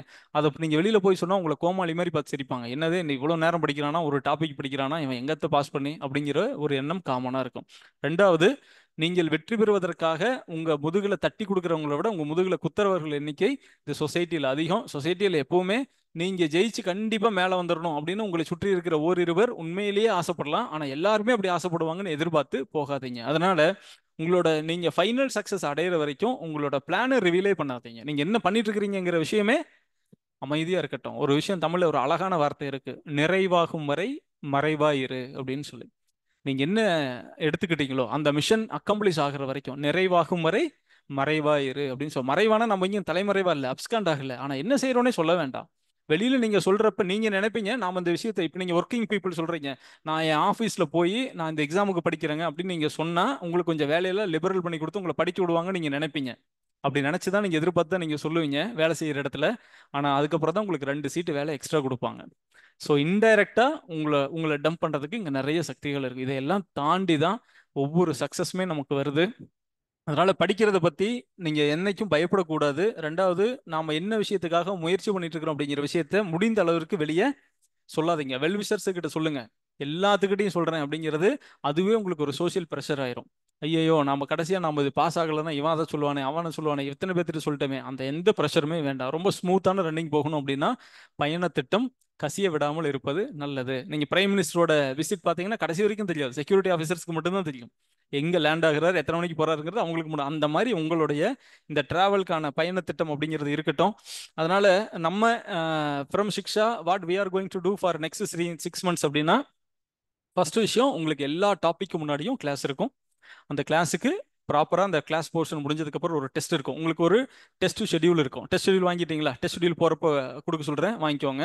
அந்த டெஸ்ட் ஷெடியூலில் ஒவ்வொரு டெஸ்ட்டுக்கும் ஒரு போர்ஷன் இருக்கும். இப்போ ஃபஸ்ட்டு டெஸ்ட்டு பன்னெண்டாம் தேதி கரெக்டாக பன்னெண்டு பத்து ரெண்டாயிரத்தி இருபத்தி நாலு டெஸ்ட் ஒன் அந்த பன்னெண்டு பத்து ரெண்டாயிரத்தி இருபத்தி நாலுக்கு முன்னாடி அந்த டெஸ்ட் ஒன்னுக்கு என்ன போர்ஷனோ அந்த போர்ஷன் எல்லாமே உங்களுக்கு நடத்திடுவோம். ஸோ கிளியர் கட்டாக நீங்கள் அதை நடத்தி முடிச்சு நீங்கள் அதை தரவாக படித்து உங்களுக்கு அதில் என்ன டவுட் இருக்கோ அதை கிளாரிஃபை பண்ணதுக்கப்புறம் தான் உங்களுக்கு டவுட் அந்த டெஸ்ட் வரும். அந்த டெஸ்ட் எழுதி முடிச்சதுக்கப்புறம் அந்த டெஸ்ட்டில் உங்களுக்கு என்னென்ன விஷயம்லாம் தேவைப்படுதோ அது டிஸ்கஷனாக இருக்கும். அடுத்த கிளாஸில் அது டிஸ்கஷனாக இருக்கும். ஸோ கிளாஸ் இருக்கும் அதுக்கப்புறம் டெஸ்ட் இருக்கும். அந்த டெஸ்ட் முடிச்சதுக்கப்புறம் அதில் என்ன உங்களுக்கு டவுட் இருக்கோ அது டிஸ்கஷனாக இருக்கும். கலைஞர் சொல்கிற மாதிரி தான் நாங்களும் அதே மாதிரி தான் நீங்களும் இருக்கணும். என்னது? சொல்கிறதான் செய்யணும் செய்கிறது தான் சொல்லணும். அதை தாண்டி இங்கே எதுவுமே இருக்கக்கூடாது. சொல்கிறதெல்லாம் செய்யணும். படிக்கணும். அவ்வளோதான் படிக்கிறது மட்டும் தான் நமக்கு வேலை அப்படிங்கிற விஷயத்தில் ரொம்ப கான்கிரீட்டாக கரெக்டாக போய்கிட்டே இருக்கணும். இந்த பேட்டர்ன் கரெக்டாக ஃபாலோ ஆகிக்கிட்டே இருக்கும். டெஸ்ட் ஷெடியூல் இல்லாதவங்க வாங்கிக்கோங்க. ஆன்லைன் ஸ்டூடெண்ட்ஸ்க்கு உங்களுக்கு மெயிலில் டெஸ்ட் ஷெடியூல் வந்துடும் அடுத்தது இருக்கிற பெரிய டவுட் இந்த குரூப் டூ டூ ஏ மெயின்ஸை பொறுத்த வரைக்கும் ஸ்கூல் புக் படித்தா போதுமா? நான் ப்ரிலிமினரிக்கு எல்லாமே ஸ்கூல் புக்கெல்லாம் படிச்சிட்டேன். அதே ஸ்கூல் புக்கை மட்டும் இப்பயும் படித்தா போதுமா அப்படின்னா ப்ரிலிமினரி அப்படிங்கிறது அதுக்கே ஸ்கூல் புக்கை படிக்கிறது தப்புன்னு சொல்கிற ஆளு நாங்கள் அதனால மெயின்ஸுக்கெல்லாம் டெஃபினட்டாக ஸ்கூல் புக்கை படிச்சுட்டு நம்ம போய் தேத்திடலான்னு போகாதீங்க. போட்டி கடுமையாக இருக்கும். வடிவேலு சொல்கிற மாதிரி இது ரத்த பூமி. அதனால் அங்கே போய் நான் ஸ்கூல் புக்கை கையில் வச்சுக்கிட்டெல்லாம் போய் நான் படித்து பாஸ் பண்ணிடுவோம் அப்படின்னா ஒன்றுமே நடக்காது. அது வேலைக்கு ஆகாது. அதனால ஸ்கூல் புக் அப்படிங்கிறது டெஃபினட்டாக படிக்கணும். அதில் வந்து அதை கிராஸ் பண்ணி வெளியில் போயிருங்கன்னா சொல்லலை. ஸ்கூல் புக் மஸ்ட் அதுதான் அடிப்படை. அந்த அடிப்படை பேஸை ரொம்ப ஸ்ட்ராங் பண்ணிக்கிட்டு அதை தாண்டி ஒவ்வொரு டாப்பிக்கும் நம்ம ஒரு ஸ்டாண்டர்ட் ரெஃபரன்ஸும் படிக்கணும்.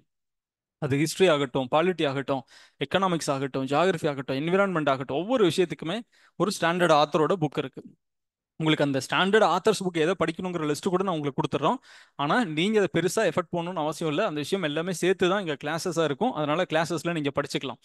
கவர்மெண்டோட பாலிசி நோட் இருக்குது கவர்மெண்டோட கரண்ட் அஃபேர்ஸ் மேகசின் தமிழரசு இருக்குது அது இல்லாமல் சென்ட்ரல் கவர்மெண்ட்டோட அஃபீஷியல் சைட்ஸ் இருக்குது தமிழ்நாடு கவர்மெண்ட்டோட அஃபீஷியல் சைட்ஸ் இருக்குது தமிழ்நாடு கவர்மெண்ட்டோட அனௌன்ஸ்மெண்ட்ஸ் இருக்குது ஒன் டென் அனௌன்ஸ்மெண்ட்ஸ் அப்படின்னு இருக்குது ஸோ இது எல்லாமே எங்கெங்கெல்லாம் wherever it fit for our mains அப்படிதோ அந்தந்த இடத்துல எல்லாமே அதாவது ஃபிட் பண்ணி தான் இங்கே கிளாஸஸ் இருக்கும். அந்த டீட்டெயில்டு கிளாஸஸ் உங்களுக்கு தேவையான எல்லாத்தையுமே கொடுத்துரும். கிளியர் அதனால நீங்கள் அதை எல்லாத்தையும் வச்சுக்கணும். அதை தாண்டி உங்களோட சொந்த உழைப்பு சார் நான் அந்த சோர்ஸ்லேருந்து கொஞ்சம் படித்தேன் இந்த சோர்ஸ்லேருந்து கொஞ்சம் படித்தேன் அப்படிங்கிறது எல்லாமே என்ன வேணாலும் நீங்கள் பண்ணுங்கள் உங்களுக்கு தேவையான சோர்ஸ் லிஸ்ட் கொடுத்துட்றோம். அதை நீங்கள் பண்ணலாம்.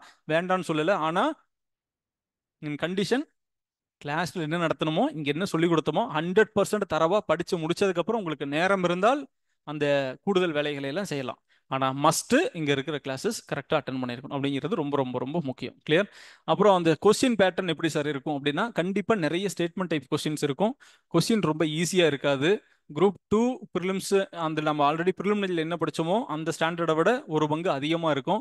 ரெண்டாவது இந்த டைம் மெயின்ஸில் வந்து இந்த கேள்விகள் கண்டிப்பாக ஒரு நார்மலைசேஷனை கொண்டுட்டு வருவாங்க. ஏன்னா நிறைய இந்த புது சேர்மன் வர்றது வந்ததுக்கப்புறம் நடந்த இந்த குரூப் டூவில் வந்து அவ்வளோ கிரிட்டிசிசம் இருந்துச்சு. டிரான்ஸ்லேஷனில் தப்பு கொஷின் குவாலிட்டி ஒன்றும் கரெக்டாக இல்லை அப்போ கீஸ் நிறைய தப்பு அப்படிங்கிற விஷயம்லாம் இருந்துச்சு. பட் இது எல்லாமே அவர் வரத்துக்கு முன்னாடி அது ஆல்மோஸ்ட் அந்த ப்ராசஸ்லாம் முடிஞ்ச ஒரு எக்ஸாமினேஷன் அது. இப்போ நடக்க போகிற group two two A mains examination அப்படிங்கிறது அண்டர் த நியூ டீம் கம்ப்ளீட்டாக அவங்க கண்ட்ரோலில் நடக்கிற ஒரு எக்ஸாமினேஷன் இப்போ நடக்கிற இந்த எக்ஸாமினேஷன் அதனால இந்த எக்ஸாமினேஷனில் அட்மோஸ்ட் எரர் ஃப்ரீ கொஷினாக இருக்கும் அப்படிங்கிறத நீங்கள் எதிர்பார்க்கலாம். ஒரு குவாலிட்டியான கொஷின் பேப்பராக இருக்கும் அப்படிங்கிறத எதிர்பார்க்கலாம். ஏன்னா சர்வீஸில் இருக்கிற ரெவன்யூவில் டாப் மோஸ்ட் சர்வீஸ் சிஆர்ஏல இருந்த ஒரு ஆஃபீஸர் தான் இன்னைக்கு டிஎன்பிசியோட சேர்மன் அதனால் அவர் வந்து இந்த எரர் கொஷின்லாம் அவர் லைக் பண்ணவே மாட்டார். ரொம்ப he is known for speed ரொம்ப வேகமாக வேலை செய்யணும்னு நினைக்கிற ஒரு ஆஃபீஸர் அவர். அதனால் அந்த அட்மினிஸ்ட்ரேஷனில் நடக்கக்கூடிய இந்த எக்ஸாமினேஷன் அப்படிங்கிறது ரொம்ப பவர் பேக்டாக இருக்கும். கண்டிப்பாக கொஸ்டின் ஸ்டாண்டர்டாக இருக்கும். கஷ்டங்கிறதெல்லாம் சொல்லலை. கொஸ்டின் பேப்பரில் கஷ்டங்கிறதுலாம் ஒன்றும் இல்லை. ஸ்டாண்டர்டாக இருக்கும். இந்த ஸ்டாண்டர்டாக இருக்கிற அளவுக்கு நம்ம தயாராகிக்கணும் அப்படிங்கிறத மட்டும் மெயினாக மைண்டில் வச்சுக்கோங்க. கிளியர் ஸோ ஃபார் இது எல்லாமே உங்களுக்கு கொடுக்குற சில ஜென்ரல் இன்ஸ்ட்ரக்ஷன்ஸ் அதை தாண்டி உங்களுக்கு இந்த டெஸ்ட் ஷெடியூல் எல்லாமே உங்களுக்கு வந்திருக்கும். நீங்கள் வெளியில் போகிறப்ப டெஸ்ட் ஷெடியூல் வாங்கிக்கோங்க. அவங்ககிட்ட எடுத்துக்கோங்க.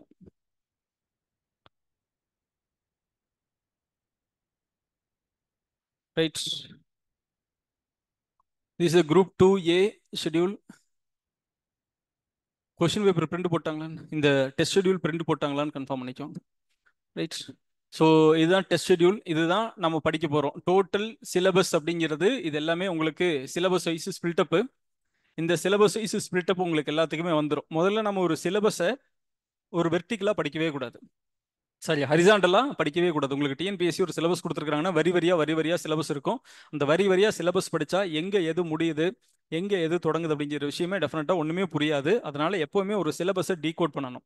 மேஜர் டாபிக் என்ன அதுக்குள்ளே வர சப் டாபிக்ஸ் என்ன அதுக்குள்ளே இருக்கிற அனாலிசிஸ் என்ன அப்படிங்கிற விஷயம் தெரிஞ்சாதான் நம்மளால் ஒரு விஷயத்தை பெட்டராக அப்ரோச் பண்ண முடியும். அதனால இது வந்து decoded syllabus for group two A இந்த விஷயம் எல்லாருமே உங்களுக்கு வந்துடும் அந்த ஃபர்ஸ்ட் ஒன் உங்களுக்கு கொடுத்துருக்கிற டாபிக் நான் இப்போ என்ன செய்யறேன்னா உங்களுக்கு எல்லா யூனிட்டை பற்றின ஒரு காமன் இன்ட்ரோடக்ஷன் கொடுக்குறேன். இந்த யூனிட்ஸ் தான் இருக்குது. நம்ம படிக்க போகிறோம் அப்படிங்கிற விஷயத்த கிளியர் கட்டாக புரிஞ்சுக்கோங்க. இந்த first one modern history of Tamil Nadu இதில் கீவேர்டு என்ன அப்படின்னா modern history of Tamil Nadu Tamil Nadu சம்மந்தப்பட்ட நவீன கால வரலாறு அப்படிங்கிற நம்ம சொல்கிறோம் ஸோ அது அது கூட Tamil society culture and heritage Tamil சமுதாயம் அதனுடைய கலாச்சாரம் மற்றும் அதனுடைய தொன்மை அப்படிங்கிறது தான் அப்போ இந்த தொன்மை அப்படின்னா இன்னைக்கு இருக்கிற பெரிய எவிடன்ஸ் என்ன? நம்ம தமிழ் சமுதாயம் அப்படிங்கிறது ஒரு தியரி ஒன்று இருக்கு. உலகத்தின் முதல் மனிதன் உலகத்தின் முதல் மனிதன் தமிழன் உலகத்தின் முதல் மொழி அந்த மனிதன் பேசிய மொழி. அப்போ ஆப்வியஸ்லி தமிழ் மொழி தான் உலகத்தின் முதல் மாந்தன் பேசிய மொழி அப்படிங்கிறது ஒரு தியரி இருக்கு. அந்த தியரி என்னென்ன வரும்?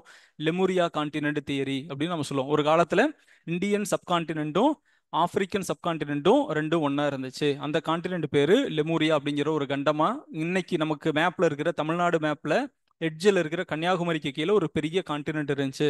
அந்த கான்டினென்ட்டோட பேர் லெமூரியா. லெமூர் அப்படிங்கிற ஒரு குரங்கு இருந்துச்சு. அந்த குரங்கிலிருந்து அதிலிருந்து இவால்வ் ஆகி பரிணாம வளர்ச்சி அடைந்த ஒரு மனிதன் அங்கே இருந்தான். அதனால அந்த கண்டத்தின் பேர் லெமூரியா கண்டம் அப்படின்னு சொல்றோம். அங்க உலகத்தின் முதல் மாந்தன் தமிழன் அந்த முதல் மாந்தன் பேசிய மொழி தமிழ் மொழி அதுதான் உலகின் முதல் மொழி அப்படிங்கிறது இன்னைக்கு வரைக்கும் கிடைச்சிருக்கிற நிறைய எவிடன்சஸ் வச்சு சோஃபார் ப்ரூவ் பண்ணியிருக்கிறாங்க. அப்ப உலகத்தில் இருக்கிற லாங்குவேஜஸ்ல ரொம்ப மிக பழமையான மொழி அப்படின்னு சொல்லக்கூடிய மொழிகள்ல நம்ம தமிழ் மொழி சீனம் இதெல்லாம் வந்து ரொம்ப ஏன்ஷியன் லாங்குவேஜஸ் அப்ப அந்த ஏன்ஷியன் லாங்குவேஜஸ் பேசின ஒரு இனம் தமிழினம். அப்ப அந்த தமிழர்களின் சிறப்பு என்ன? அவங்க அப்ப இருந்து இப்ப வரைக்கும் அதான் தமிழ் சொசைட்டியில் படிக்கிறோம். அப்ப இருந்து நம்ம இங்க இருந்தோம். எல்லா டைப் ஆஃப் சிவிலைசேஷனும் நம்ம இங்க எக்ஸ்பெரிமெண்ட் பண்ணியிருக்கிறோம். ஸோ நம்ம சிந்து சமோலி நாகரிகம் அப்படின்னு நம்ம படிப்போம். சிந்து சமோலி நாகரிகம் இண்டஸ் வேலி சிவிலைசேஷன் நம்ம படிச்சுட்டு வரப்ப அயன் பீரியட் அப்படின்னு ஒன்று வரும். இரும்பு காலம்னு ஒன்று வரும். ஆனா இந்தியாவில் இரும்பு காலம் முதன் முதல் இருந்தது நார்த்தில் கிடையாது சவுத்தில் இந்தியாவின் முதன் முதலில் இரும்பு காலம் காணப்பட்டது தென் தமிழ்நாட்டில். அதுவும் குறிப்பாக தமிழ்நாட்டில் தான் இருந்துச்சு அப்படிங்கிறத நிறைய எவிடன்சஸ் வச்சு இப்போ சமீபத்தில் ஃபைண்ட் அவுட் ஆன ஒரு இடம் எந்த இடம்? அகழ்வாராய்ச்சியில். இந்தியாவின் முதல் இரும்பு காலம் தென்னகத்தில் அதுவும் குறிப்பாக தமிழகத்தில் இருந்தது அப்படிங்கிறத சவுண்டாக சொல்லக்கூடிய அகழ்வாராய்ச்சி முடிவுகள் எந்த ஊர்லேருந்து வந்துச்சு?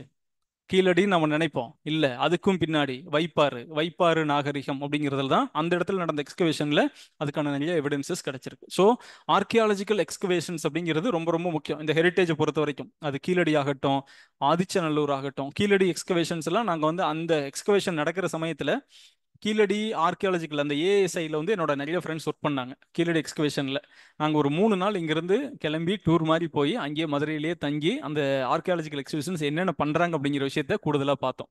கூடவே இருந்து அதை பார்த்து ஒரு ஒரு ஆர்டிஃபெக்ட்ஸாக மண்ணுக்குள்ளேருந்து எப்படி வெளியில் எடுக்கிறாங்க அப்படிங்களா ரொம்ப ஆச்சரியமாக இருந்துச்சு.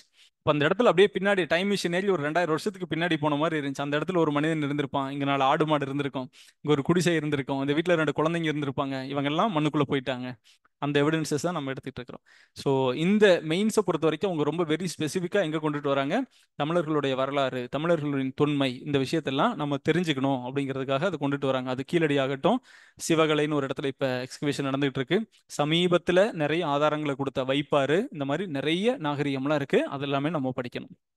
கிளியர் அதுக்கு மேல மாடர்ன் ஹிஸ்ட்ரி ஆஃப் தமிழ்நாடு. அது ரொம்ப பழசு அப்படின்னா அதுக்கான எவிடன்சஸோட படிக்கிறோம்.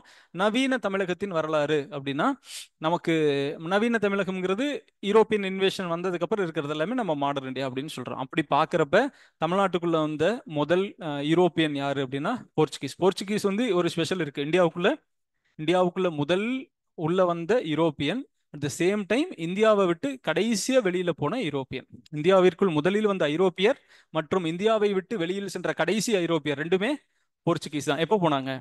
கடைசியா போனது எந்த வருஷம்? உள்ள வந்தது எப்ப? ஃபோர்டீன் நைன்டி எயிட் யாரு Vasco da Gama good Vasco da Gama. Okay okay good Vasco da Gama Vasco da Gama தான் ஃபர்ஸ்ட் உள்ள வர்றாரு. லாஸ்டா இவங்க எப்போ வெளியில போனாங்க? வாஸ்கோட காமாவை அனுப்புனது யாரு? நைன்டீன் சிக்ஸ்டி டூ ஆ இல்ல இல்ல வாஸ்கோட காமாவை இந்தியாவுக்கு அனுப்புனது யாரு ஹென்றி ஆமா மாலுமி ஹென்றி அப்படின்னு நம்ம சொல்லுவோம் ஹென்றி அதுக்கப்புறம் மா ஹென்ரிக்கு வாஸ்கோட காமாவுக்கு முன்னாடி ஒருத்தர் டிராவல் பண்ணி வருவார் இந்தியாவை கண்டுபிடிக்கிறோம் அப்படின்னு நினைச்சிட்டு வருவார் அவர் யாரு Bartholomew Dias. Bartholomew Dias Dias. Bartholomew Dias வந்து எது வரைக்கும் வருவாரு வந்துட்டு கேப் வரைக்கும் வந்துட்டு நன்னம்பிக்கை முனைன்னு கொடுத்துட்டு போயிரு ஏன் அந்த முனைக்கு பேரு நன்னம்பிக்கை முனை அது வரைக்கும் ஒரு நம்பிக்கை கொடுத்துச்சு. இது வரைக்கும் போனா இதுக்கு மேல அதை கண்டுபிடிச்சிடலாங்கிற நம்பிக்கை அந்த இடம் கொடுத்துச்சு. அதுக்கு மேல ஒரு ஆள் டிராவல் பண்ண முடியல திரும்பி போயிட்டார்.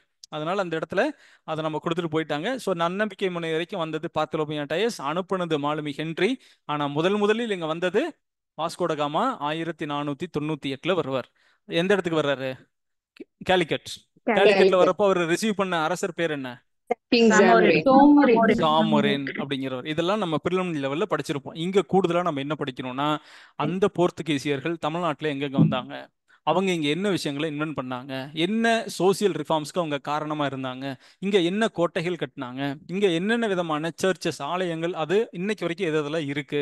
அப்படிங்கிற விஷயத்த நம்ம தெளிவாக படிக்கணும். கிளியர் எப்போ வெளியில் போனாங்க அப்படின்னா நைன்டீன் சிக்ஸ்டி ஒன்ல வெளியில் போனாங்க. ஏன்னா அவங்க கோவா அவங்க கண்ட்ரோலில் இருந்துச்சு. கோவா வந்து ஈவன் ஆஃப்டர் இந்தியன் இண்டிபெண்டன்ஸ் இந்தியாவுக்கு சுதந்திரம் கிடைத்த பின்னரும் அவங்க கோவாவில் அவங்க ரூல் பண்ணிக்கிட்டே இருந்தாங்க. அதெல்லாம் ஏன்னா இன்டர்நேஷ்னல் ட்ரீட்டிஸ் அதெல்லாமே. அவங்க வந்து பிரிட்டிஷ்கிட்ட இருந்து தான் நமக்கு இந்தியாவுக்கு சுதந்திரம் கிடைச்சது. கோவாவை வச்சுக்கிட்டு இருந்தது போர்ச்சுகீஸ் போர்ச்சுகீஸ் சொல்கிறான் நீ பிரிட்டிஷ்காரங்க இருக்கிற பார்ட்டிலேருந்து தான் உனக்கு இண்டிபெண்டன்ஸ் கொடுத்துருக்காங்க கோவாக்கும் போர்ச்சுகீஸ்க்கும் எங்கிட்ட இருக்கிற கனெக்ஷன் நான் கொடுக்க முடியாதுன்ட்டாங்க.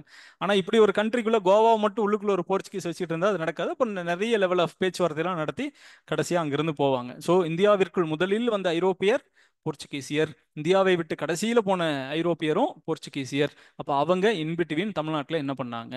அப்போ நீங்க ஒரு கொஸ்டின் கேட்கலாம். இந்தியாவில் அதிக காலம் இருந்த ஐரோப்பியர் யார் அப்படின்னா நம்ம காமனா பிரிட்டிஷ்னு போட்டுருவோம். இல்ல அதுக்கு மேல அவங்க இருக்கிறாங்க. ரொம்ப பவர்ஃபுல்லா இருந்தது யாரு அப்படின்னா பிரிட்டிஷ். பட் நீண்ட காலம் இருந்தது லாங் டென்யூர் இந்தியாவில் இருந்தது யாருன்னா போர்ச்சுகீஸ். Clear right போர்ச்சுகீஸில். இப்போ நமக்கு கீழே சிலபஸில் வந்து பெரியாருடைய கான்ட்ரிபியூஷன் அண்ணா இது எல்லாமே கொடுத்துருக்குறாங்க. போர்ச்சுகீஸுக்கும் தமிழ்நாட்டுக்கும் ஒரு பயங்கரமான கனெக்ஷன் இருக்கு. யாருக்கு தெரியும்? தெரியுமா உங்களுக்கு? ரொம்ப சூப்பராக இருக்கும். ஸோ ஒரு விஷயம் காமனாக உங்களுக்கு நான் சொல்கிறேன் எப்போவுமே சிக்ஷாவோட ஸ்டூடெண்ட்ஸுக்கு நாங்கள் சொல்கிறது தான் படிக்கிறது அப்படிங்கிறது நாட் ஒன்லி ஃபார் எக்ஸாமினேஷன் அது வந்து கற்றலுக்கான ஒரு திறப்பு. பல விஷயங்கள் உங்களுக்கு பிடிபடும். எக்ஸாமினேஷனுக்கு அப்புறமும் நீங்கள் எக்ஸாம் எழுதி சர்வீஸ் போனதுக்கு அப்புறமும் உங்கள் லைஃப் லாங் நீங்கள் படிக்கிறதுக்கும் நீங்கள் ட்ராவல் பண்ண வேண்டிய பாதையை தீர்மானிக்கிறதுக்கும் இங்கே நீங்கள் கற்றுக்கிற பல விஷயங்கள் உபயோகமாக இருக்கும். அப்படி உண்மையிலேயே நீங்கள் தெரிஞ்சுக்க வேண்டிய ஒரு ஹிஸ்டாரிக்கல் இஷ்யூ ஒன்று என்ன சொல்கிறேன் கோவா வந்து போர்ச்சுகீஸ் கண்ட்ரோலில் இருக்கும். போர்ச்சுகீஸ் கிட்ட இருந்து எப்படி நம்ம பிரிட்டிஷ்காரங்கிட்ட இருந்து நமக்கு ஃப்ரீடம் வேணும் அப்படின்னு நம்ம சண்டை போட்டுக்கிட்டு இருந்தோமோ அது மாதிரி போர்ச்சுகீஸுக்கிட்ட இருந்து எங்களுக்கு லிபரேஷன் வேணும். போர்ச்சுகீஸ்ல இருந்து கோவாவுக்கு விடுதலை கொடுக்கணும் அப்படின்னு சொல்றதுக்காக ஒரு அமைப்பை தொடங்குறாங்க. அந்த அமைப்புக்கு தலைவராக இருந்தவர் பேரு மோகன் ரானடே அப்படிங்கிற ஒருத்தர். அந்த மோகன் ரானடே பயங்கரமா அவர் வந்து யாரால இன்ஃப்ளூயன்ஸ் ஆனாலும் அப்படின்னா விடி சவார்கர். இஸ் விடி சவார்கர்? ஆ யாருமா?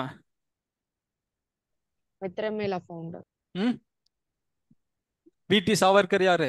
ஆர்எஸ்எஸ் ஓட தலைவர். ஆமா ஆர்எஸ்எஸ் ஓட ஃபவுண்டர் ராஷ்ட்ரிய ஸ்வயம் சேவக் அவங்களுடைய ஃபோர் ஃபாதர் அவங்களோட கிராண்ட் ஃபாதர் அவங்களுடைய அப்படிங்கிற ஆர்எஸ்எஸ் ஓட ஒரு காடு பிதா அப்படின்னு சொல்லக்கூடியவர் விடி சாவர்கர். விடி சாவர்கர் மேல நிறைய ப்ளஸ் இருக்கு மைனஸ் இருக்கு நிறைய கிரிட்டிசிசம் இருக்கு. ஓகே இந்த மோகன் ரானடே அப்படிங்கிறவர் விடி சாவர்கரை எடுத்துக்கிட்டு ரோல் மாடலா எடுத்துக்கிட்டு ஃப்ரீடம் ஃபைட்டிங்கில் யாருக்கு எதிராக போர்ச்சுகீஸுக்கு எதிராக ஃபைட் பண்ணிட்டு இருந்த ஒரு ஃப்ரீடம் ஃபைட்டர் மோகன் ரானடே மோகன் ரானடே வாஸ் அரெஸ்டட் அவர் வந்து அப்போ ஆப்வியஸ்லி பிரிட்டிஷ்க்கு எதிராக போராடினா நம்மள அரெஸ்ட் பண்ணுறாங்க அந்த மாதிரி போர்ச்சுகீஸ் எதிராக போராடிட்டு இருக்கிறப்ப போர்ச்சுகீஸை அரெஸ்ட் பண்ணுறாங்க போர்ச்சுகீஸ் கவர்மெண்ட் அவங்களை அரெஸ்ட் பண்ணி மோகன் ரானடேவை போர்ச்சுகலோட கேபிட்டல் லிஸ்பனில் அங்கே கொண்டு போய் வச்சிருவாங்க. ஜெயிலில் வச்சுருவாங்க. லிஸ்பனில் வச்சதுக்கப்புறம் அவர் நைன்டீன் சிக்ஸ்டி ஒன்ல கோவா விட்டு போர்ச்சுகீஸ் போயிடும் ஆனால் போர்ச்சுகீஸ்க்கு போர்ச்சுகீஸ் வந்து கோவா விட்டு போயிட்டாங்கிற விஷயமே அவருக்கு தெரியாது. ஏன்னா அவர் ஜெயிலில் இருப்பாரு தனிமை சிறையில் இருப்பாரு வெளிச்சம் கிடையாது கம்ப்ளீட் இருட்டு டார்க் ரூம் அப்படிங்கிற ஜெயிலில் இருப்பாரு. கோவா விடுதலை அடைஞ்சிருச்சு அப்படிங்கிற விஷயமே மோகன் ரானடேவுக்கு தெரியாது. ஆனால் கோவா ஃப்ரீடம் கிடைச்சிரும் மோகன் ரானடே ஜெயிலில் இருப்பார். இந்த மீன் டைம் தமிழ்நாட்டில் ஒரு பெரிய லீடர் எமர்ஜ் ஆயிருப்பார். நைன்டீன் சிக்ஸ்டீஸ்லேருந்து நைன்டீன் செவன்டிஸ் வரைக்கும் தமிழ்நாட்டில் பயங்கரமாக எமர்ஜான ஒரு பெரிய இயக்கம் பெரிய லீடர் அப்படின்னா அது டிஎம்கே அண்ட் அண்ணாதுரை. அண்ணாதுரை அந்த சமயத்தில் எம்எல்ஏ எலெக்ஷனில் தோத்துருப்பாரு. எம்பிஐ டெல்லிக்கு போயிருப்பாரு. அந்த சமயத்தில் நமக்கு ஒரு ஒரு நல்ல வாய்ப்பு கிடைக்கும். டெல்லியில் இருக்கிற நல்ல கான்டாக்ட் நீங்கள் வந்து அண்ணாதுரையை பற்றி நம்ம படிக்கிறப்ப பெரியார் அண்ணா எல்லாமே சிலபஸில் இருக்காங்க. நம்ம அண்ணாதுரையை பற்றி படிக்கிறப்ப நிறைய விஷயங்கள் உங்களுக்கு சொல்லித்தரேன். So one of the the best orator அப்படின்னு சொல்லக்கூடியது. I am from I am a Dravidian stock அப்படின்னு பார்லிமெண்ட்ல சொன்ன ஒரு மனிதர். இன்னைக்கு தமிழ்நாடு சீஃப் மினிஸ்டரோட ட்விட்டர் ஃபேஸில் எக்ஸஸ் எக்ஸ் ஃபேஸில் உள்ளே போய் பார்த்தீங்கன்னா அவரோட பயோவில் இருக்கிறது திரவிடியன் ஸ்டாக் அப்படின்னு சொல்லியிருக்கு. அந்த திரவிடியன் ஸ்டாக் அப்படிங்கிறது நான் ஒரு திராவிட இனத்திலிருந்து வந்தவன் அப்படிங்கிற ஒரு விஷயத்தை ஃபர்ஸ்ட் ஃபர்ஸ்ட் பார்லிமெண்ட்ல சொன்னது அண்ணா. அண்ணா அப்போ அந்த சமயத்தில் இங்கே அறுபத்தி ஏழில் தமிழ்நாட்டில் சிஎம் ஆயிருப்பாங்க. ஸோ ஒரு ஒரு தமிழ்நாட்டில் சிஎம் ஆனது அது எல்லாமே நமக்கு சிலபஸில் இருக்கு. மொழி போராட்டம். தமிழ்நாட்டில் அண்ணாதுரை தலைமையிலான திமுக ஆட்சிக்கு வருவதற்கு மிக முக்கியமான காரணம் மொழி போராட்டம் இந்தி எதிர்ப்பு போராட்டம் அப்படிங்கிறது அதுவும் இந்த தடவை சிலபஸ்ல இருக்கு. நம்ம மொழி போராட்டம் எல்லாமே டீட்டெயில்டா படிப்போம். இப்போ இந்த மொழி போராட்டம்லாம் முடிஞ்சு அண்ணா சிஎம் ஆகுறாங்க. அவங்களுக்கு ஒரு வாய்ப்பு கிடைக்குது. யாரை மீட் பண்றதுக்குன்னா போப் பாண்டவரை மீட் பண்றதுக்கு. போப் பாண்டவர் அப்படிங்கிறது உலகத்தில் இருக்கிற எல்லா கிறிஸ்தவர்களுடைய தலைவர் போப்பை மீட் பண்ண போறாங்க. ஃபைவ் மினிட்ஸ் அவருக்கு டைம் கொடுக்குறாங்க. ஏன்னா போப்பை மீட் பண்றதுக்குலாம் அரை மணி நேரம் ஒரு மணி நேரம்லாம் போய் உட்காந்துருக்க முடியாது. ஃபைவ் மினிட்ஸ் டைம் கொடுக்குறாங்க. அந்த ஃபைவ் மினிட்ஸ்ல அண்ணாதுரை பேசின பேச்சை கேட்டுட்டு போப் அவரை கண்டினியூஸாக பேச பெர்மிட் பண்ணார். உங்கள் கூட நான் நிறைய பேசணும். நீங்கள் என் கூட பேசுங்க. அஞ்சு நிமிஷத்தில் ஒரு அறிவாளி கண்டுபிடிச்சிடலாம். அப்போ அந்த மாதிரி போப் வந்து பயங்கரமாக இன்ஸ்பயர் ஆயிடுவார் அண்ணா கிட்ட. அண்ணா அஞ்சு நிமிஷத்துக்கு டைம் கொடுத்த அண்ணா ஐம்பத்தி அஞ்சு நிமிஷம் பேசுவார் போப்பு கிட்ட. ஃபைனலாக வெளியில் வரப்போ போப்பு கேட்பாரு இவ்வளோ நான் ரொம்ப உங்களால் இன்ஸ்பயர் ஆகிருக்கிறேன் உங்ககிட்ட இருந்து நான் நிறைய விஷயங்களை கற்றுக்கிட்டேன் அப்படின்னு சொல்கிறப்ப அவர் ஒன்று கேட்பார் உங்களுக்கு என்ன வேணும்னு கேட்பார். நான் என்ன வேணாலும் என்ன கேட்டாலும் கொடுப்பீங்களான்னு கேட்பார் அவர். நான் கொடுக்குறேன். என்னால் சக்திக்கு உட்பட்டு உலகத்தோட பெரிய கை வந்து போப்பு. போப்பு நினைச்சா உலகத்தில் முடியாது ஒன்றுமே இல்லை. நான் கொடுக்குறேன்னு சொல்றாரு. அவர்கிட்ட சொல்றாரு உலகத்தின் கிறிஸ்தவர்கள் எல்லாத்துக்கும் தலைவர் நீங்க. உலகத்தின் மிக முக்கியமான ஒரு கிறிஸ்தவ நாடு போர்ச்சுகல். அந்த போர்ச்சுகல் எங்க கண்ட்ரியில் இருந்த ஒரு பார்ட்டு கோவாவை அடிமைப்படுத்தி வச்சிருந்தாங்க. கோவாவோட லிபரேஷனுக்காக போராடின மோகன் ரானடே உங்க போர்ச்சுகலோட லிஸ்பன் ஜெயிலில் உள்ள இருக்கிறார். அவரை ரிலீஸ் பண்ண சொல்லுங்க அப்படின்னு சொல்லி கேட்பார் இத்தனைக்கும் அது வரைக்கும் மோகன் ரனடேவுக்கும் அண்ணாவுக்கும் இடையில எந்த நேரடி தொடர்பும் கிடையாது. பார்த்தது கிடையாது பேசினது கிடையாது. ஆனா அண்ணா அளவிற்கு ஒரு பெரிய வாசிப்பாளன் உலகத்துல எவனுமே கிடையாது. அந்த அளவுக்கு வாசிச்சவர் உலக விவரங்களை தெரிஞ்சு வச்சிருந்தவர் கோவாவுடைய முழு விவகாரமும் தெரிஞ்சு வச்சிருக்கிறாரு. கிடைத்த ஒரு வாய்ப்பில் போப்பாண்டவர்கிட்ட அதை கேட்கிறாரு மோகன் ரன்னடவை ரிலீஸ் பண்ணுங்கன்னு கேட்பார் ஸோ போப் நான் முயற்சி செய்யறேன்னு சொல்றாரு. அவர் ரிட்டர்ன் வந்துடுறாரு. போப் போர்ச்சுகல் கவர்மெண்ட் கிட்ட பேசுவாரு. அங்கிருந்து பேசி லிஸ்பன் ஜெயிலிருந்து மோகன் ராண்டேவை ரிலீஸ் பண்ணுவாங்க. யாருடைய தலையீட்டில்? போப்பாண்டவரோட தலையீட்டில். மோகன் ராண்டே வெளியே வரைக்கும் நினச்சிட்டு இருப்பாரு. போ போர்ச்சுகல் கவர்மெண்ட் தன்னை ரிலீஸ் பண்ணுச்சுன்னு நினச்சிட்டு இருப்பாங்க. அப்புறம் அதை விசாரிக்கிறப்ப அவருக்கு தெரியும் இல்லை போர்ச்சுகல் கவர்மெண்ட் திருந்திலாம் ரிலீஸ் பண்ணலை. போப் அதில் இன்டர்ஃபியர் ஆயிருக்கிறாரு அப்படின்னு. போப்பாண்டவர் எதுக்குடா என்ன ரிலீஸ் பண்ண சொன்னாருன்னு அவர் இன்னும் பின்னாடி போறப்பதான் தெரியுது. அண்ணாதுரைங்கிற ஒருத்தர் உனக்காக பேசி ரிலீஸ் பண்ணியிருக்கிறாரு அப்படின்னு. அவர் நேர இறங்குனவர் அங்கிருந்து இறங்கி அவர் கோவா போல நேராக இந்தியாவுக்கு வர்றாரு. இந்தியாவிலேருந்து சென்னை வர்றாரு. சென்னையில் வந்து அண்ணாவை பார்க்க வர்றாரு. ஆனால் அன்னைக்கு அண்ணா அண்ணா ஸ்கொயரில் சமாதியாக தான் இருந்தார். அண்ணா இறந்துருவார். அவர் அண்ணாவை பார்க்கவே இல்லை. தான் முன்பின் பார்க்காத ஒரு மனிதனுக்காக அண்ணா போப்பாண்டவர்கிட்ட பேசி மோகன் ரானடவை ரிலீஸ் பண்ணுவார். அந்த மோகன் ரானடே திரும்ப வரப்ப அண்ணா இருக்க மாட்டார். அவர் கிட்டத்தட்ட ரெண்டாயிரத்தி ஒன்பதுலேயோ பத்துலேயோ தான் மோகன் ரானடே இறந்தார். ரொம்ப ரீசெண்டாக தான் இறந்தார். ஸோ அந்த அளவுக்கு இருந்த ஒரு மனிதன். அந்த போர்ச்சுகீஸ் உங்களுக்கு ஃபர்ஸ்ட் சிலபஸ் ஸோ உங்களுக்கு இருக்கிற மாடர்ன் ஹிஸ்ட்ரி ஆஃப் தமிழ்நாடுல தமிழ்நாட்டின் இன்னைக்கு இருக்கிற மாடர்ன் தமிழ்நாடுடைய ஃபாதர் அப்படின்னு சொன்னா பேரறிஞர் அண்ணா. அந்த அண்ணாவையும் நம்ம பின்னாடி படிப்போம். அவருக்கு ஃபாதரா இருந்த பெரியாரையும் படிப்போம். அவங்களோட கனெக்ட் ஆன போர்ச்சுகீஸ்னு வந்ததால உங்களுக்கு அந்த ஸ்டோரி ஞாபகம் வந்துச்சு. அதனால நான் சொல்றேன். ஸோ போர்ச்சுகீஸோட கனெக்ட் ஆன ஒரு விஷயம். தமிழ்நாட்டில் போர்ச்சுகீஸ் நிறைய இடத்துல இருப்பாங்க. புலிக்காட்டில் இருப்பாங்க. பழவேற்காடு அப்படிங்கிற இடத்துல இருப்பாங்க. நிறைய கோட்டைகள் கட்டுவாங்க. அதெல்லாம் இருக்கும். அடுத்து டச்சு இங்கிலீஷ் இங்கிலீஷ் வந்து நம்மளுக்கு தெரியும். தமிழ்நாட்டோட எல்லா பார்க்லேயும் இங்கிலீஷ் ஃபேன்ஸ் இல்லாத ஒரு இடமே இல்லை. இந்த யூரோப்பியன்ஸில் ரொம்ப ஸ்ட்ராங்காக இருந்தது ஒன்று இங்கிலீஷ் இன்னொன்று ஃப்ரெஞ்ச் இந்த இங்கிலீஷ்க்கும் ஃப்ரெஞ்சுக்கும் நடந்த சீரியல் ஆஃப் பேட்டில்ஸ் தான் கர்நாடிக் வார்ஸ் கர்நாடக போர்கள் அப்படின்னு நம்ம சொல்லுவோம். So Anglo French ரிபல்ரி Anglo Mysore war Anglo Maratha war the Poligar rebellion இது எல்லாமே அவங்களுக்குள்ள நடந்த சண்டை. இந்த பாலிகர் ரிபலியன் அப்படிங்கிறது தமிழ்நாட்டில் இருந்த பாளையக்காரர்கள் பிரிட்டிஷுக்கு எதிராக சண்டை போட்ட ஒரு வரலாறு. அப்போ இந்தியாவுடைய முதல் சுதந்திர போராட்ட வரலாறுங்கிறது எங்கிருந்து தொடங்குது இந்தியாவில் அப்படின்னா முதன் முதலில் தொடங்குனது தமிழ்நாட்டில இருந்து தான் தமிழ்நாட்டில் யார் ஃபர்ஸ்ட் ஃபர்ஸ்ட் எதிர்த்தது? பிரிட்டிஷை எதிர்த்து போரிட்ட முதல் மன்னன் பூலித்தேவன்.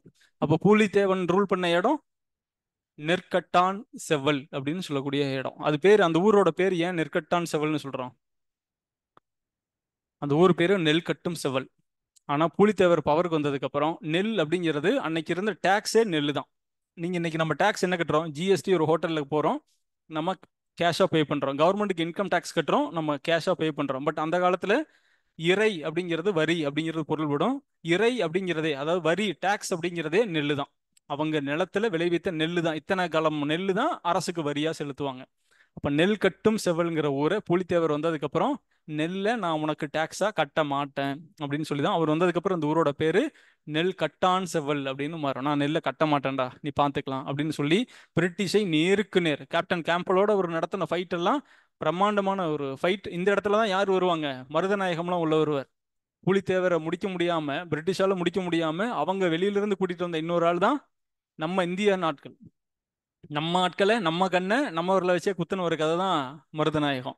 மருதநாயகம் தான் கமல்ஹாசன் ஒரு சினிமாவாக எடுக்கணும்னு நினச்ச யூசுப் கான். யூசுப் கான் தான் மருதநாயகம்னு சொல்லுவோம். அந்த மருதநாயகத்தை வச்சு தான் பூலித்தேவரை கடைசியாக முடிப்பாங்க. ஸோ அந்த பூலித்தேவருடைய கதை. அதிலிருந்து நமக்கு வேற எந்தெந்த பாளையக்காரர்கள் இங்கே எந்தெந்த மாதிரியான ஃபைட் பண்ணாங்க?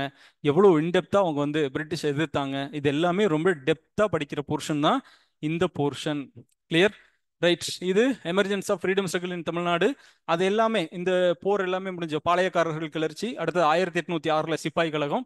அதுக்கப்புறம் அதோட ஆயிரத்தி எட்நூத்தி ஆறு சிப்பாய் கழகத்தோட தமிழ்நாட்டில் ஆர்மி லெவல்ல அந்த ரெவல்யூஷனரிங்கிறது அதோட முடிஞ்சிடும் ஆயுதம் ஏந்தி பிரிட்டிஷ் எதிர்க்கிறது அப்படிங்கிறது அவங்க கம்ப்ளீட்டா முடிச்சு விட்டுருவாங்க அதுக்கப்புறம் என்ன நடக்கும்? ஒரு நாற்பது வருஷம் சும்மா தான் இருப்பாங்க. அப்படி சும்மா இருக்கிறப்ப அடுத்தது என்ன இருப்பாங்கன்னா ஒரு ட்ரேடர்ஸ் அப்படிங்கிற ஒரு குரூப் வருவாங்க வணிகர்கள்.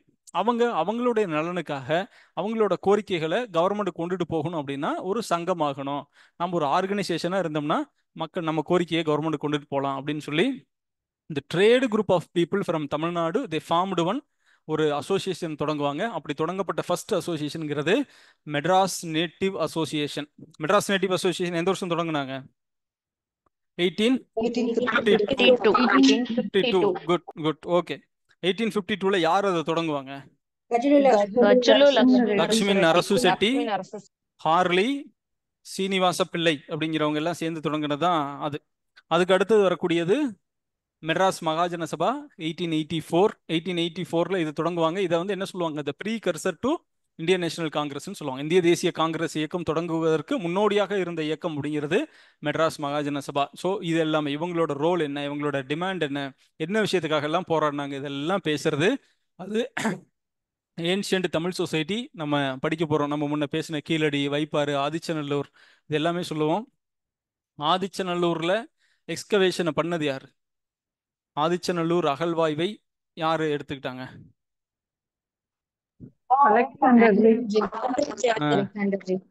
ஓகே ஓகே சரி. சோசியோ பொலிட்டிக்கல் மூமெண்ட்ஸ் இந்த பார்ட்ல இருந்து தான் நிறைய கேள்வி வருங்க. இந்த யூனிட்ல அதிகப்படியான கேள்விகள் நீங்க எங்க எதிர்பார்க்கலாம் அப்படின்னா இந்த ஏரியால இருந்து வரும். Justice Party development of rationalism self respect movement Dravidian movement நீதி கட்சி பகுத்தறிவுவாதத்தின் வளர்ச்சி சுயமரியாதை இயக்கம் திராவிட இயக்கம் தனித்தமிழ் இயக்கம். ஸோ இந்த ஏரியால இருந்து டெஃபினட்டா உங்களுக்கு நிறைய கேள்விகள் வரும். இன்னைக்கு நம்ம சொல்றோம்ல இந்தியாவில் இடஒதுக்கீடு அப்படிங்கிறது இப்போ சமூக நீதி அப்படின்னு நம்ம ஒன்று வச்சுக்கிட்டோம்னு வச்சுக்கோங்களேன் சோசியோ பொலிட்டிக்கல் மூமெண்ட்ஸ் அப்படின்னு நம்ம சொல்கிறோம் சோசியல் ஜஸ்டிஸ் அப்படிங்கிற ஒரு வேர்டு இருக்குது மினிஸ்ட்ரியில் சென்ட்ரல் மினிஸ்ட்ரியில் ஒரு முக்கியமான மினிஸ்ட்ரியே இருக்குது மினிஸ்ட்ரி ஆஃப் சோசியல் ஜஸ்டிஸ் சமூக நீதிக்கான மத்திய அமைச்சகம் அப்படின்னு ஒரு தனி மினிஸ்ட்ரியே கொடுக்குறாங்க. அந்த சோசியல் ஜஸ்டிஸ் அப்படிங்கிற வார்த்தைக்கு டைரக்டாக ஒரு சினானிம்ஸ் எடுத்தீங்க அப்படின்னா அது பேர் reservation social justice is nothing but reservation அந்த ரிசர்வேஷனை இந்தியாவில் முத முதல்ல இம்ப்ளிமெண்ட் பண்ண ஒரு இடம் Tamil Nadu. Dharani. Dharani.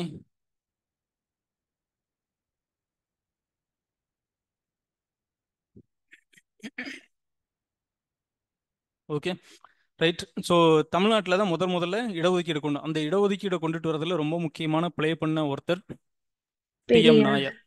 T M Nair. T M Nair யாரு?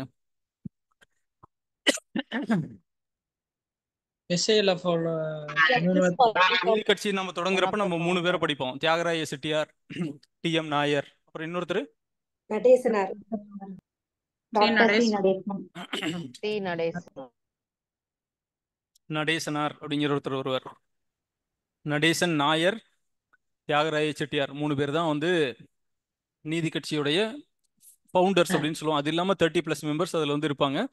ஆனால் டிஎம் நாயர் அப்படிங்கிறவர் பிறப்பால் ஒரு மலையாளி. நமக்கு தெரியும்ல நமக்கு தெரிஞ்ச நாயர்லாம் யாரு? நாயர் டீ கடை. டீ கடை இருந்தால் நாயர் கடை இருக்கும் அப்படின்னு சொல்லுவோம்.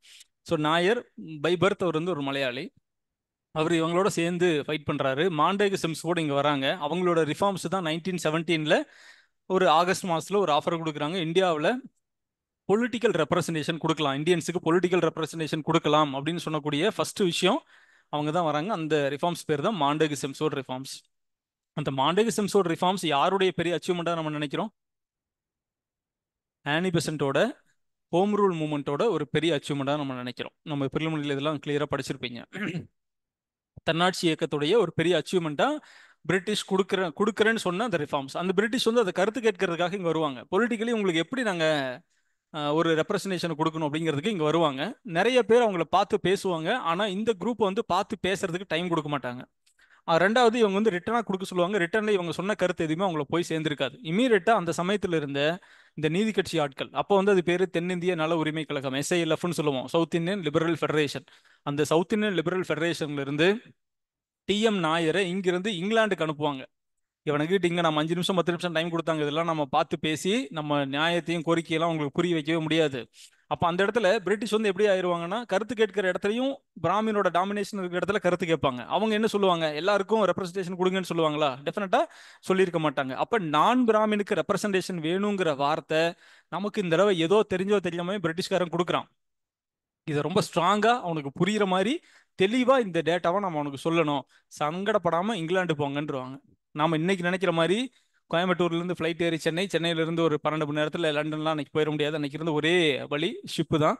கிட்டத்தட்ட மூன்றரை மாதம் அன்னைக்கு அவருக்கு ட்ராவல் ஃபஸ்ட்டு டைம் போயிடுறாரு. போயிட்டு அந்த கம்யூனல் ரெப்ரசன்டேஷன் அப்படிங்கிறது எலெக்ஷனில் நீங்கள் இந்தியாவுக்கு பவர்ஸை பிரித்து கொடுக்குறப்ப இந்தியர்களுக்கு என்னென்ன ரேஷியோவில் எல்லாருமே நான் பிராமினுக்கு எப்படி ரெப்ரசன்டேஷன் கொடுக்கணுங்கிற விஷயத்தை ரொம்ப டீட்டெயில்டாக அவர் பேசுவார். திரும்ப வந்துடுவார் அதுக்கப்புறமும் உங்களுக்கு திருப்தி இருக்காது. இன்னொரு வாட்டி திரும்ப அவங்கள பார்த்து பிரிட்டிஷ் பார்லிமெண்ட்ல இதை பத்தி நம்ம முறையிடுவோம் அப்படின்னு சொல்லி செகண்ட் டைம் டிஎம் நாயரை திரும்ப இங்கிருந்து இங்கிலாந்து அனுப்புவாங்க. அப்படி அனுப்புறப்ப அங்க அவர் போவாரு. அவருக்கு அலாட் பண்ண தேதி ஜூலை பதினேழுன்னு நினைக்கிறேன். அதுக்கு ஒரு ரெண்டு நாளைக்கு முன்னாடி அவருக்கு உடம்பு ரொம்ப சீரியஸ் ஆயிரும். அந்த சீரியஸ் ஆகுறப்ப அவர் வந்து சொல்லுவாரு அவர் பை ப்ரொஃபஷன் அவர் வந்து ஒரு டாக்டர் அவரோட டாக்டரா டிஎம் நாயர் நடத்தின அவரோட ஜேர்னல் பேரு ஆன்டிசெப்டிக் டிஎம் நாயர் நடத்தின அந்த ஜேர்னல் பேர் ஆன்டிசெப்டிக் அவர் வந்து ஒரு டாக்டர் அவர் சொல்லுவார் கண்டிப்பாக நான் செத்து போயிடுவேன் இன்னைக்கோ நாளைக்கோ எனக்கு உயிர் போயிடும் ஆனால் நான் வந்த விஷயம் நான் பிராமினுக்கு ரெப்ரசன்டேஷன் வாங்கணும். எப்படியாவது இவனுங்கிட்ட இப்போ வாங்காம விட்டோம்னா அதுக்கப்புறம் நமக்கு எப்போவுமே கிடைக்காது அப்படின்னு சொல்லி பிரிட்டிஷ் பார்லிமெண்ட்டுக்கு தகவல் சொல்லி அவரோட நிலைமையை சொல்லி அங்கேருந்து ரெண்டு பேர்த்த அனுப்பி ரிட்டனாக அவரோட வாக்குமூலத்தெல்லாம் பதிவு பண்ணிட்டு போவாங்க. சொன்ன மாதிரி அன்னைக்கு சாயந்தரம் ஒரு செத்துருவார். இந்த பாடி கூட இங்கே வரல. டிஎம் நாயரை இங்கிலாந்துலேயே புதைச்சிருவாங்க. ஆனால் ரெப்ரசன்டேஷன் ஃபார் நான் பிராமின் இந்தியாவுக்கு வந்துச்சு. ஸோ இங்கேருந்து போன நாயர் பாடியாக இங்கிலாந்துலேயே போயிட்டார். ஆனால் அவரோட முயற்சி இங்கே வந்து ஒரு ரிசர்வேஷன் அப்படிங்கிற ஒரு விஷயமா இங்கே வந்துச்சு. அதுக்கப்புறம் தான் அவங்க ஆட்சி அமைப்பாங்க. ஆட்சி அமைக்கிறப்ப நைன்டீன் டுவெண்ட்டி ஒனில் first communal GO nineteen twenty டூவில் second communal GO nineteen twenty எயிட்டில் தேர்ட் கம்யூனல் ஜீவோ அந்த தேர்ட் கம்யூனல் ஜீவோ தான் சுப்பராயன் சீஃப் மினிஸ்டராக இருப்பார்.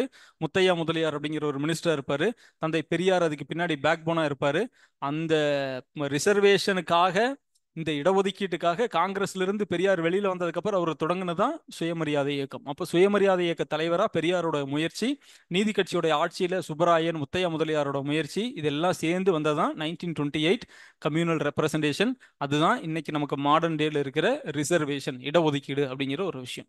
ஸோ இது எல்லாமே இவங்களுடைய அச்சீவ்மெண்ட்டு இந்த ஃபீல்டுக்குள்ள இது எல்லாமே நாம இப்போ பேசின எல்லாமே எக்ஸாம் பாயிண்ட் ஆஃப் வியூவில் என்ன கேள்வியாக வேணாலும் கேட்கலாம்.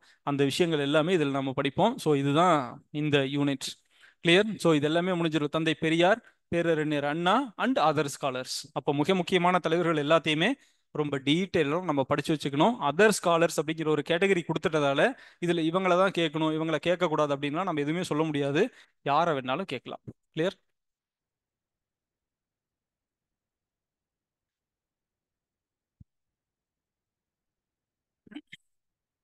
administration of states with reference to Tamil Nadu இதில் ரெண்டு பார்ட் இருக்கு. இந்த first part constitution of India union executive state government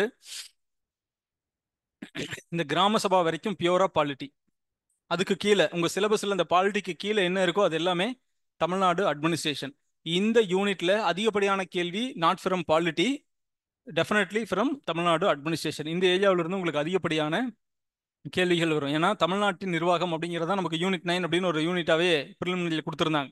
அந்த யூனிட்ல இருந்து இன்னும் அதை விட அதிகப்படியான போர்ஷன் இங்க கொடுத்து இங்க நமக்கு நிறைய விஷயங்களை படிக்க சொல்றாங்க. Role and functions of district collector district revenue officer revenue divisional officer tahsildar இப்போ நாளைக்கு நீங்க குரூப் டூ பாஸ் பண்ணி நீங்க குரூப் டூ ஏல ரெவன்யூ அசிஸ்டன்ட் அப்படின்னு ஒரு போஸ்ட் இருக்கு. ரெவன்யூ டிபார்ட்மெண்ட்ல இருக்கிறது. அது பேர் சீனியர் ரெவன்யூ இன்ஸ்பெக்டர் அப்படின்னு சொல்லுவோம். கவுன்சிலிங்கில் அது பேர் ரெவன்யூ அசிஸ்டன்ட்னு வரும். அப்போ அந்த சீனியர் ரெவன்யூ இன்ஸ்பெக்டராக நீங்கள் சேர்றீங்க அப்படின்னா உங்களோட ஹையரார்க்கி தான் ரிவர்ஸில் உங்களுக்கு கொடுத்துருக்காங்க கீழே ஒரு விஏஓ விஏஓக்கு அடுத்தது சீனியர் ரெவன்யூ இன்ஸ்பெக்டர் அதுதான் ஆர்ஐ அப்படின்னு நம்ம சொல்லுவோம். சீனியர் ரெவன்யூ இன்ஸ்பெக்டர்லேருந்து ஒரு டெப்டி தாசில்தார். டெப்டி தாசில்தார்லேருந்து தாசில்தார். தாசில்தார்லேருந்து டெப்டி கலெக்டர் அதுக்கு அடுத்தது டிஆர்ஓ டிஆர்ஓக்கு மேலே கலெக்டர். இதுதான் தமிழ்நாட்டில் இருக்கிற வருவாய் நிர்வாக அழகு ரெவன்யூ யூனிட்டோட ஹைரார்கி இந்த ஹைரார்கியில் கிராம கலெக்டர்னு சொல்கிற வில்லேஜ் அட்மினிஸ்ட்ரேட்டிவ் ஆஃபீஸர் விஏஓல இருந்து டிஸ்ட்ரிக்ட் கலெக்டர்னு சொல்லக்கூடிய மாவட்ட ஆட்சித்தலைவர் இது வரைக்கும் இருக்கிற ஒவ்வொருத்தவங்களுடைய ரோல் என்ன? அவங்க என்ன செய்வாங்க? அவங்களுக்கான கடமைகள் என்ன? அவங்களுக்கு பவர்ஸ் என்ன? ஃபங்க்ஷன்ஸ் என்ன? இது எல்லாமே டீட்டெயில்டாக இருக்கணும். அது உங்களுக்கு தனியாக அப்ஜெக்டிவ்ஸாக வரும். அதனால் அந்த விஷயம் எல்லாமே ரொம்ப டீட்டெயில்டாக படிப்போம். And then e governance policy of Tamil Nadu இது டைரக்டா யூனிட் நைன்ல நம்ம கொடுத்துருக்கிற டாபிக் இ கவர்னன்ஸ் ரைட் அடுத்த unit science and tech science and tech பொறுத்த வரைக்கும் உங்களுக்கு அந்த பேசிக்கா இருக்கிற சயின்ஸ் எல்லாம் இல்லை. எல்லாமே டெக்னாலஜி போர்ஷன்ஸ் இதுல இருக்கிற ஈச் அண்ட் எவ்ரி டாபிக் நம்ம தனித்தனியா ஒவ்வொரு டாப்பிக்காக கிளாஸ் பார்ப்போம். அதுக்கப்புறம் இருக்கிறது Tamil Nadu economy social issues in Tamil Nadu இதில் ரெண்டு யூனிட் இருக்கு. ஒன்று தமிழ்நாடு எக்கானமி இன்னொன்று இதுலேயும் ஒரு கீவேர்டு என்னன்னா தமிழ்நாடு இந்தியன் எக்கானமி இல்லை தமிழ்நாடு எக்கானமி அப்போ தமிழ்நாடு எக்கானமியில் நமக்கு ஒன்று சொல்லியிருக்கிறாங்க. இப்போ தமிழ்நாடு கவர்மெண்ட்டோட ஒரு பிரைம் பாலிசி ஒன்று இருக்கு. என்னது? ஒன் ட்ரில்லியன் டாலர் எக்கானமி அப்படின்னு சொல்லியிருக்கிறோம். அப்போ இந்த ஒன் ட்ரில்லியன் டாலர் எக்கானமினா என்ன? அதே மாதிரி இப்போ இருக்கிற டிஎம்கே கவர்மெண்ட் பதவிக்கு வந்ததுக்கப்புறம் எக்கனாமிக் அட்வைசரி கவுன்சில் அப்படின்னு ஒன்று பண்ணாங்க. பொருளாதார ஆலோசனை குழு. தமிழ்நாடு அரசுக்கான பொருளாதார ஆலோசனை குழு. அதனோட தலைவர் யார்? அதில் மெம்பர்ஸ் யார் இருக்கிறாங்க? தமிழ்நாட்டு நிதியமைச்சர் யார்? தமிழ்நாடு பட்ஜெட் என்ன? தமிழ்நாட்டில் இருக்கிற மேஜர் கிராப்ஸ் என்ன? என்ன அக்ரிகல்ச்சர் இங்கே பண்ணுறோம் என்ன சாயில் இருக்குது என்ன மான்சூன் இங்கே வந்து நமக்கு அதிகப்படியாக பயன் கொடுக்குது? தமிழ்நாட்டில் அதிகப்படியாக பாசனத்துக்கு பயன்படுத்துறது என்ன இரிகேஷன் ஏரி பாசனமா? வெல் இரிகேஷன் கிணற்று பாசனம். நாம. நினைப்போம் ஆத்து பாசனம் தான் நிறைய இருக்கும் இல்ல அது வந்து கிணற்று பாசனம் தான் தமிழ்நாட்டில் இரிகேஷனுக்கு அதிகமாக யூஸ் பண்ணுற வாட்டர் ரிசோர்ஸ் ஸோ இது எல்லாத்தையும் ரொம்ப டீட்டெயில்டாக படிக்கிற இடம் Tamil Nadu economy clear education health இது எல்லாமே உங்களுக்கு அந்த யூனிட் நைனில் நம்ம படிச்சாதான் அது ரொம்ப இன்னும் டெப்த்தாக படிக்கிறோம். அடுத்தது social issues geography of Tamil Nadu biodiversity and disaster management இதில் வந்து மூணு டாபிக் இருக்கு இந்த யூனிட்ல ஒன்று தமிழ்நாடு ஜியாகிரபி ரெண்டாவது என்விரான்மெண்ட் மூணா என்விரான்மெண்ட் அண்ட் பயோடைவர்சிட்டி மூணாவது டிசாஸ்டர் மேனேஜ்மெண்ட் இப்போ நீங்க வருவாய்த்துறையோட பேரு ரெவன்யூ அண்ட் டிசாஸ்டர் மேனேஜ்மெண்ட் தான். Revenue administration and disaster management தான் வருவாய்த்துறையோட முழு பேரு. வருவாய் நிர்வாகம் மற்றும் பேரிடர் தணிப்புத்துறை அப்படின்னு சொல்லி பேரிடர் மேலாண்மை துறை அப்படின்னு சொல்றதா ரெவன்யூ டிபார்ட்மெண்ட் அந்த அந்த இது எல்லாமே இங்க வந்துருது. அப்போ மூணு பார்ட் ஒன்று ஜியாகிரபி இன்னொன்று என்விரான்மெண்ட் அண்ட் பயோடைவர்சிட்டி மூணாவது டிசாஸ்டர் மேனேஜ்மெண்ட் அப்போ இந்த ஒரு யூனிட்டுக்குள்ளே மூணு யூனிட் இருக்கு. நம்ம தனித்தனியாக உங்களுக்கு ஸ்பிரிட் அப் கொடுத்துருக்குறோம். அந்த விஷயத்தை நீங்கள் பார்த்துக்கலாம். கிளியர் ரைட்ஸ் அதுக்கு அடுத்தது உங்களுக்கு ஜென்ரல் இன்டெலிஜென்ஸ் உங்களுக்கு ரீசனிங் பார்ட்டு ரீசனிங் பார்ட்லேருந்து நாற்பது கேள்வி கேட்பாங்க. இந்த நாற்பது கேள்வியில் இருபத்தேழு டாப்பிக்லேருந்து நாற்பது கேள்வி. எத்தனை கேள்வி நம்ம சரியாக போடலாம்? ஒரு இருபது இருபத்தஞ்சு போட்டுடலாமா சார் அப்படியா குறைஞ்சது முப்பத்தெட்டு போடணும். அதிகபட்சம் நாற்பது போட்டுறணும். அவ்வளோதான் உங்களுக்கு பர்மிட்டபிள் மிஸ்டேக்ஸ் அப்படிங்கிறது ரெண்டு கேள்வி. நாற்பதுக்கு முப்பத்தெட்டு இலக்கு. நம்ம எப்படி வச்சுக்கணும்? நாற்பது லட்சியம் முப்பத்தெட்டு நிச்சயம் அப்படின்னு வச்சுக்கணும். அதுக்கு கீழே உங்களுக்கு லாங்குவேஜ் இருக்கும். லாங்குவேஜில் பொது தமிழோ அல்லது பொது ஆங்கிலமோ இருக்கும். லாங்குவேஜை பொறுத்த வரைக்கும் எனக்கு நான் இங்கிலீஷ் படிக்கல சார் அப்போ ஓகே அது இங்கே கிராமர் ப்ராப்பராக படிச்சுக்கலாம். இலக்கணமே நான் படிக்காமல் நான் பொது தமிழில் ஒரு எண்பது வாங்கிட்டேன். அதை வச்சு இப்படியே வந்துட்டேன். இலக்கணம் எனக்கு புரியல கவலையப்படாதீங்க. இலக்கணம் வந்து செப்பரேட்டாக கிளாஸஸ் இருக்கும். Twenty plus classes exclusively for Tamil grammar so அதனால் இலக்கணத்தில் உங்களுக்கு எந்த பார்ட்டில் உங்களுக்கு டவுட் இருந்தாலும் உங்களுக்கு கம்ப்ளீட்டாக எல்லா டாப்பிக்குமே each and every topic material கொடுத்துருவோம். கிளாஸ் இருக்கும். எல்லா டாப்பிக்குமே கிளாஸ் இருக்கும். கிளியர் அதை பற்றி கவலையே பட வேண்டாம். So this is the things we are going to do for next six months கிளியரா இந்த சப்ஜெக்ட்ஸ் தான் நம்ம படிக்க போகிறோம் சார் அடுத்தது நம்ம இது எங்கே படிக்க போகிறோம் அப்படின்னா டூ படிப்போம். டூக்கு படிக்கிறப்ப டூவோட சிலபஸ்க்கும் அதுக்கும் பெரிய டிஃப்ரென்ஸ்லாம் இல்லை. எல்லாமே ஒன்று தான் கிட்டத்தட்ட இதே ஒன்று தான் நீங்கள் அந்த சிலபஸோட கம்பேரிசன் பார்க்குறப்போ உங்களுக்கு புரியும். அந்த சிலபஸ் நீங்கள் கம்பேரிசன் நீங்கள் பார்த்துக்கலாம். கிளியர் ஸோ இந்த விஷயத்தை தான் நம்ம பண்ண போகிறோங்க இந்த விஷயத்த each and every topic classes இருக்கும். இந்த கிளாஸ் முடிச்சதுக்கப்புறம் உங்களுக்கு டெஸ்ட் இருக்கும். நீங்கள் நல்லா படிக்கணும். எதையுமே போஸ்ட்போன் பண்ணக்கூடாது. இந்த தள்ளி போடுற மனப்பான்மை அப்படிங்கிறத கம்ப்ளீட்டாக தள்ளி போட்டுருங்க. எதை தள்ளி போடணும்? ப்ரிப்பரேஷன் இல்லை. அந்த மென்டாலிட்டி அதை தள்ளி போட்டுருங்க. ஒரு ஆறு மாதத்துக்கு தள்ளி போட்டுட்டு day to day day to day school பையன் மாதிரி ஆகிடணும் நீங்கள் சொன்னால் செஞ்சிடறங்க ஐயா அப்படிங்கிற அளவுக்கு மனநிலையை வச்சுக்கிட்டோம்னா நம்ம படிச்சுக்கிட்டே இருப்போம். படிக்க படிக்க படிக்க டெஸ்ட் எழுதுவோம். வர டவுட்ஸை கிளாரிஃபை பண்ணிக்குவோம். So this is the pattern நம்ம ஃபாலோ பண்ணக்கூடிய விஷயம். கிளியர் படிச்சிருவோமா? பாஸ் பண்ணிடலாமா என்ன சர்வீஸ் வாங்கணும்? சர்வீஸ் உங்களை வாங்கணுமா? நீங்கள் சர்வீஸ் வாங்குவீங்களா? வாங்குறதே இங்கே இல்லை. அந்த வார்த்தையே தப்பாயிரும். எந்த சர்வீஸும் இங்கே வாங்க முடியாது. ஸோ சர்வீஸு உங்களை செலக்ட் பண்ணக்கூடாது. நீங்கள் தான் சர்வீஸை செலக்ட் பண்ணணும். ஸோ நீங்கள் உங்களுக்கு என்ன போஸ்ட் வேணுங்கிறத நீங்கள் தான் செலக்ட் பண்ணணும். உங்களுக்கு முன்னாடி எல்லா போஸ்ட்டும் இருக்கணும். எல்லாமே இருந்துட்டு நான் இதை எடுக்கிறேன் அப்படின்னு சொல்லிட்டு வெளியில் வரணும்.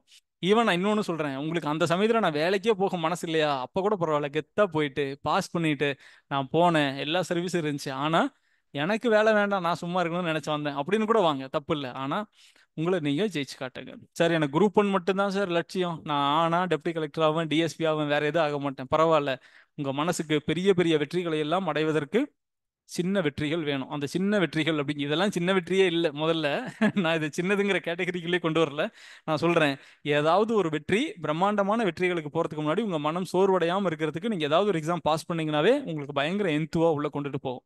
அந்த எந்துவா உங்கள் நீங்களே உங்களுக்கு நீங்களே ப்ரூவ் பண்ணிக்கிறதுக்கான ஒரு பேட்டர்னாக இந்த எக்ஸாமினேஷனை நீங்கள் வச்சுக்கோங்க. சக்ஸஸ்ஃபுல்லாக முடிச்சிருக்கோம் கிளியர் ரைட் ஸோ ஏதாவது டவுட் இருக்கா? ஃபஸ்ட்டு நான் ஆன்லைன் கொஞ்சம் வெயிட் பண்ணுங்கள் ஆஃப்லைனில் முடிச்சுக்கிறேன். ஆஃப்லைன் உங்களுக்கு என்ன டவுட் இருக்கு? எனி டவுட் எனி கிளாரிஃபிகேஷன் இல்லை எனக்கு நிறைய டவுட் வந்துச்சு சார் நான் இப்போ எனக்கு தெளிவாயிருச்சு. அப்படி இருக்கா? ஓகே ரைட் உங்களுக்கு எதாவது டவுட் இருக்கா? உங்களுக்கு எதாவது கிளாரிஃபிகேஷன்ஸ் வேணுமா? ஆன்லைன் அபிஷேக் இன்னையா ஒரு ஜென் மனநிலையிலே இருக்கிற ஜாலியா? நடக்கட்டும் சார் அபிஷேக் எவ்வளோ தெரியுமா கொஸ்டின் அபிஷேக் சிக்ஸா ஸ்டூடெண்ட் அபிஷேக் எவ்வளோ கொஸ்டின் எவ்வளோ question Abhishek? One seventy two one சிக்ஸ்டிக்கு மேலே அவ்வளோதான் ஒரு அடக்கம். ஓகே ஸோ அப்படி போட்டுருணும் அவ்வளோதான் ஸோ நீங்கள் இப்போ எப்படி அவருக்கு டெஃபரெண்ட்டாக டூ வருமா டூ ஏ வருமா? கேள்வியெலாம் இல்லை. எனக்கு டூ வரும் டூ ஏ வரும். அப்போ இதே பொசிஷனில் நாளைக்கு சர்வீஸ் செலக்ட் பண்ணுறப்போ இருக்கணும். என்ன வேணாலும் எடுக்கிறேன் நான் எடுத்துக்கிறேன் அப்படிங்கிற மனநிலை இருக்கணும். அங்கே போய் கிடைக்குமா? வருமா? வராதா? உள்ள கால் வச்சிருவோமா? வைக்க மாட்டோமா? கடைசி நாள் கவுன்சிலிங் கூப்பிட்டுருவாங்களா? இந்த ஆசிலேஷன் இருக்கவே கூடாது. அந்த அளவுக்கு நம்ம ஜம்முன்னு படித்து போயிடணும் அடுத்த ஆறு மாதத்துக்கு எப்படி இருக்கணும்? கடுப்பு கடுப்பேத்துறவங்ககிட்ட கம்முனும் உசு பேத்துறவங்ககிட்ட உம்முன்னு வச்சுக்கிட்டோம்னா வாழ்க்கை ஜம்முன்னு இருக்குன்னு சொல்கிறது தான் நீங்கள் ஃபாலோ பண்ண வேண்டிய விஷயம். கிளியர் ஓகே ஆன்லைன் ஸ்டூடெண்ட்ஸ் என்ன டவுட் இருக்கு? எனி கிளாரிஃபிகேஷன்ஸ் உங்களுக்கு என்ன கிளாரிஃபிகேஷன் இருந்தாலும் நான் கிளியர் பண்ணுறேன் ஆனால் ஒரே சமயத்தில் எல்லாருமே அன்மியூட் பண்ணி கேட்க வேண்டாம். ஒன் பை ஒன்னாக கேளுங்க. நோ டவுட்டா இதில் ரெண்டு விஷயம் இருக்கு. எல்லாமே புரிஞ்சாலும் டவுட் வராது. எதுவுமே புரியலனாலும் டவுட் வராது. இது எந்த கேட்டகரி ஓகே புரிஞ்சிருச்சு. அப்படின்னு நானா எடுத்துக்கிறேன். ஓகே. நோ டவுட்டா ஆ? சொல்லுங்க சொல்லுங்க சொல்லுங்க. புக் லிஸ்ட் அனுப்பிச்சுடுறேன் நீங்க சார். மெயிலில் வந்துருங்களா? இங்கிலீஷ்க்கு இல்ல சார். புக் லிஸ்ட் இங்கிலீஷ்க்கு மெயிலில் அனுப்பிச்சுடுறேன் நீங்களா? ஆமா ஆமா. புக் லிஸ்ட் புக் லிஸ்ட் எல்லாமே உங்களுக்கு கொடுத்துருவோங்க. அந்த டெஸ்ட் போர்ஷனுக்கு முன்னாடி இந்த டெஸ்ட்டுக்கு இதெல்லாம் படிக்கணும் அப்படிங்கிற போர்ஷன் கொடுத்துருவோம். ஸோ இன்னைக்கு உங்களுக்கு நம்ம என்ன பண்ண போறோம் அப்படின்னா உங்களுக்கு டூ டூ இயருக்கு காமனா டூ ஸ்டூடெண்ட்ஸ் எல்லாருக்குமே ஃபர்ஸ்ட் டெஸ்ட் ரெண்டு டெஸ்ட் இருக்கும். Foundation test foundation test one foundation test two அப்படின்னு இருக்கும் ஃபவுண்டேஷன் டெஸ்ட் ஒன்று நூறு மார்க் நூறு மார்க்ல நாலு டென் மார்க் கொஸ்டின் இருக்கும் நாலு ஃபிஃப்டீன் மார்க் கொஸ்டின் இருக்கும். அந்த என்ன கொஸ்டின் அப்படிங்கிறத உங்களுக்கு இன்னைக்கு இப்போ எல்லாருக்குமே மெயில் வந்துடும் மணி அஞ்சு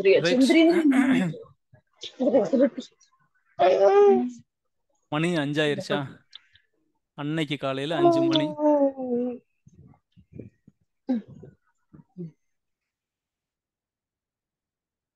ரைட் ஓகே உங்களுக்கு குரூப் டூ ஸ்டூடெண்ட்ஸ் எழுதுறவங்களுக்கு உங்களுக்கான மாடல் டெஸ்ட் இந்த ஃபவுண்டேஷன் டெஸ்ட் ஒன்றுக்கான கொஷின் பேப்பர் உங்களுக்கு வந்துடும் உங்களுக்கு நிறைய டைம் இருக்கு.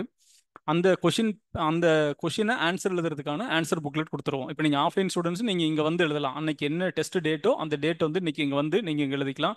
ஆன்லைன் ஸ்டூடெண்ட்ஸ் நீங்கள் உங்களுக்கான ஆன்சர் புக்லெட் உங்களுக்கு அனுப்பிச்சிருவோம். கொஷின் பேப்பர் அனுப்பிச்சிருவோம். ஜஸ்ட் நீங்கள் அது ஒரு பிரிண்ட் அவுட் எடுத்து நீங்கள் அந்த கொஷினுக்கு உங்களுக்கு என்ன வகையில் ஆன்சர் தெரியுதோ அதில் எல்லாமே நீங்கள் ஃபில்லப் பண்ணி ஆன்சரை நீங்கள் ப்ராப்பராக உங்களுக்கு எப்படி பிடிக்குதோ இப்படி எழுதினா தான் சார் நல்ல மார்க் போடுவாங்கன்னு எனக்கு சொல்லி கொடுத்தாங்க அப்படின்னு உங்களுக்கு ஒரு தேரி வச்சிருப்பீங்கல்ல அந்த தேரி படி எழுதுங்க. உங்களுக்கு அதுக்கு முன்னாடி எந்த இன்புட்டுமே கிடையாது. உங்களுக்கு என்ன தோணுதோ உங்களுக்கு எப்படி எழுதணும்னு நினைக்கிறீங்களோ அந்த விஷயத்தில் நீங்கள் அந்த டெஸ்ட்டை எழுதி அனுப்பலாம். அனுப்புனதுக்கப்புறம் அதில் என்ன கரெக்ஷன்ஸுங்கிறத நாங்கள் உங்களுக்கு சொல்கிறோம் ஸோ உங்களுக்கு உங்களுக்கு ஆக்சுவலாக என்ன வருதுன்னு எனக்கு தெரிஞ்சாதான் உங்களை எங்கெல்லாம் கரெக்ட் பண்ணுங்கிற விஷயம் என்னால் முடிவு பண்ண முடியும். அதனால் அந்த விஷயத்தை ஃபஸ்ட்டு கரெக்ட் பண்ணிடுவோம் அடுத்தது டூ பசங்களுக்கு உங்களுக்கு கிளாஸ் ஷெட்யூலு மற்ற எல்லாமே உங்களுக்கு இன்றைக்கி மெயில் வந்துடும் ஸோ ப்ராப்பராக மெயில் செக் பண்ணுங்கள் எந்த விஷயமா இருந்தாலுமே no WhatsApp group no WhatsApp direct வாட்ஸ்அப்லாம் எதுவும் கிடையாது. அதனால் உங்களுக்கு இருக்கிற எல்லா கம்யூனிகேஷனும் த்ரூ மெயில் தான். கிளாஸ் ஷெட்யூலு மற்றது எல்லாமே ஒரு கிளாஸே போஸ்ட்போன் ஆகுது இல்லை அந்த கிளாஸோட டைம் மாறுது என்னவா இருந்தாலும் எவ்ரி திங் த்ரூ மெயில் அதே மாதிரி எந்த டைம் வேணாலும் நீங்கள் ஆஃபீஸோட நம்பருக்கு நீங்கள் கூப்பிடலாம் அட்மின் நம்பருக்கு கூப்பிட்டீங்கன்னா அவங்க எல்லாமே உங்களுக்கு அப்டேட் பண்ணிடுவாங்க ஸோ இந்த விஷயம் எல்லாமே இருக்கும். சரி இதில் ஃபஸ்ட்டு ரெண்டு கிளாஸ் இருக்குது சார் உங்களுக்கு ஃபஸ்ட்டு இப்போ எப்போ கிளாஸ் வருது அப்படின்னா செவ்வாய்க்கிழமையிலேருந்து உங்களுக்கு கிளாஸஸ் தொடங்குது. ரெண்டு கிளாஸஸ் உங்களுக்கு பேரலாக போகும். ஒன்று modern history of Tamil Nadu and Tamil society ரெண்டாவது Indian polity modern history of Tamil society and Tamil Nadu நான் எடுக்கிறேன். இந்தியன் பாலிட்டி மேடம் எடுப்பாங்க. ஸோ இந்த ரெண்டு சப்ஜெக்ட் பேரலாக போகும். அப்புறம் இது முடிச்சதுக்கப்புறம் அடுத்தடுத்த சப்ஜெக்ட்ஸ் உங்களுக்கு ஒன் பை ஒன்னாக வந்துடும் ஸோ உங்களுக்கு பேரலாக டெஸ்ட்டுக்கு முன்னாடி அந்தந்த போர்ஷன் எல்லாமே நடத்தி அதுக்கு முன்னாடி கொஷின் கொடுத்து அது உங்களை ப்ராப்பராக ட்ரெயின் பண்ணிடலாம். Clear this is the plan so இந்த பிளான் அப்படி சூப்பர் ஸ்டார் சொன்ன மாதிரி குறி வச்சா.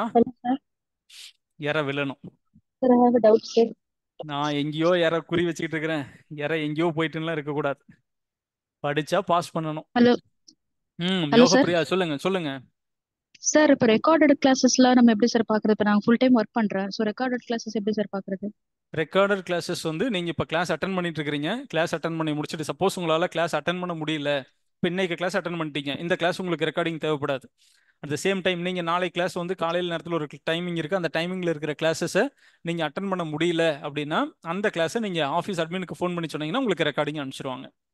கிளியர் ரைட் அதனால நாம அதனால நம்ம கிளாஸே அட்டன் பண்ண வேண்டாம். எல்லா கிளாஸும் ரெக்கார்டிங் வாங்கிக்கலாம். ஆஃப்லைன் ஸ்டூடெண்ட்ஸ் நீங்களுமே கூட ஒரு கிளாஸ் நீங்க வர முடியல அப்படின்னா அந்த கிளாஸை நீங்க பர்டிகுலர் கிளாஸை நீங்க சொல்லி ரெக்கார்டிங் வாங்கிக்கலாம். பட் என்னோட சஜஷன் இல்லை என்னோட வியூ அப்படிங்கிறது ரெக்கார்டிங் கிளாஸஸ்க்கு நீங்கள் போகவே கூடாது. ரெகுலர் கிளாஸஸை ஒன்று நம்ம ஆஃப்லைனில் அட்டன் பண்ணுறோம் இல்லைனா லைவ் கிளாஸஸில் ஆன்லைனில் அட்டன் பண்ணுறோம் இப்போ ஆன்லைன் ஆர் ஆஃப்லைன் ஏதோ ஒன்றில் லைவாக கிளாஸஸ் அட்டன் பண்ணி முடிச்சிடணும். ரெக்கார்டிங் போகவே கூடாதுங்கிற ஒரு உறுதி உங்ககிட்ட இருக்கணும். கிளாஸை மிஸ் பண்ணலாம். அதான் ரெக்கார்டிங் கொடுக்குறாங்கல்ல அப்படிங்கிற அந்த விஷயம் வந்துச்சுனாவே நீங்கள் லெத்தாஜிக்காக ஆரம்பிச்சிருவீங்க. அந்த விஷயம் வரக்கூடாது. ஆனால் தவிர்க்க முடியாத சூழ்நிலையில் மழை இருக்கும். அன்னைக்கு கரண்ட் இருக்காது. அன்னைக்கு நம்மளால வர முடியாது. உடம்பு சரியில்லாம போகும். ஸோ அதெல்லாம் தவிர்க்கவே முடியாத காரணங்கள். அந்த சமயத்தில் நீங்கள் எந்த கிளாஸ் மிஸ் பண்ணுறீங்களோ அந்த கிளாஸ்க்கான ரெக்கார்டிங் நீங்கள் அவைல் பண்ணிக்கலாம். Clear right Yogapriya? கிளியர் ஆச்சா? Sir I. Want to thank you sir actually நீங்க சொல்லி தான் இந்த லாஸ்ட் கவுன்சிலிங்ல நான் வந்து டூ இயர்ல போலீஸ் டிபார்ட்மெண்ட் எடுத்திருந்தேன் சார் நான் கூட மெசேஜ் அனுப்பி கேட்டிருந்தேன் ஆக்சுவலி ஆமாம் ஏன்னா நான் ரொம்ப கன்ஃபியூஷன்ல இருந்தேன். நான் இப்போ இங்க கிரேட்டர் சென்னை கமிஷனரேட்ல ஒர்க் பண்றேன் சார் எக்மோர்ல சூப்பர் சூப்பர்மா சூப்பர். ஓகே ஓகே அதனால தான் நான் ஆன்லைன் கிளாஸஸ் என்ரோல் பண்ணிருக்கேன் இந்த தடவை. ஓகே ஓகே டூக்கு எய்ம் பண்றேன் சார் நான். விடுங்க இந்த வருஷம் டிபார்ட்மெண்ட் மாறிடலாம் விடுங்க. Yeah sure sir thank you sir okay ஓகேம்மா ஷியோர் ஷியோர் சூப்பர் ரைட் நிறைய ஸ்டூடெண்ட்ஸ் நம்ம group two two A counselling முடியிறப்போ வந்து நிறைய ஸ்டூடெண்ட்ஸ் இங்கே வந்து அன்னைக்குலாம் முன்ன பின்ன நான் அவங்களெல்லாம் பார்த்ததே இல்லை. பட் நம்ம அது தமிழ்நாடு ஃபுல்லாக பலாயிரக்கணக்கான ஸ்டூடெண்ட்ஸுக்கு ஹெல்ப் பண்ணியிருக்கிறோம். நம்ம அந்த போஸ்ட் செலெக்ஷன் சீரியஸ் அப்படின்னு சொல்லி ஒவ்வொரு போஸ்ட்டோட இன்டெப்த் அனாலிசிஸ் ஒன்று போட்டோம். கம்ப்ளீட்டாக அது என்ன அந்த போஸ்ட் அதில் என்ன நேச்சர் இருக்கும் ப்ரொமோஷன் என்ன த்ரெட்ஸ் என்ன அதில் என்னென்ன விஷயங்கள் இருக்குது என்ன டவுட் அதை பற்றி கம்ப்ளீட்டாக போஸ்ட் செலெக்ஷன் சீரியஸ் அப்படின்னு ஒரு விஷயம் போட்டிருந்தோம். அது நிறைய பேருக்கு ஹெல்ப்ஃபுல்லாக இருந்துச்சு. நிறைய பேர் போஸ்ட் எடுத்ததுக்கப்புறம் இங்கே வந்து தேங்க்ஸ் சொல்லிட்டு போனாங்க. நான் முன்ன பின்ன உங்களை பார்த்ததே இல்லை. ஆனால் நீங்கள் சொல்லி தான் எங்களுக்கு ஒரு கிளாரிட்டி கிடைச்சது அப்படின்னு. ஸோ அது ஆக்சுவலாக சிக்ஸா ஸ்டூடெண்ட்ஸ்க்காக ஆரம்பித்த ஒரு சீரியஸ் நம்ம ஸ்டூடெண்ட்ஸ் எல்லாருமே போஸ்ட் செலெக்ஷன் பண்ணுறதுக்காக நிறைய டவுட்ஸ் இருக்குது அப்படிங்கிறதால செலெக்ஷன் சீரியஸ் ஆரம்பித்தோம் நெல்லுக்கு பாய்ஞ்ச நீர் அப்படியே புல்லுக்கும் பாஞ்சுது. அது கடைசியாக தமிழ்நாடு ஃபுல்லாக பாஞ்சிருச்சு. அது எல்லாருக்குமே உபயோகமாக இருந்துச்சு. ரொம்ப சந்தோஷம். ஓகே. பார்த்துக்கலாம் உங்களோட அட்மிஷனில் இங்கே இங்கே இருந்து உங்களோட ஃபைனல் செலெக்ஷன் ஆஃப் போஸ்ட் வரைக்கும் சிக்ஷா உங்கள் கூடவே ட்ராவல் ஆகும்.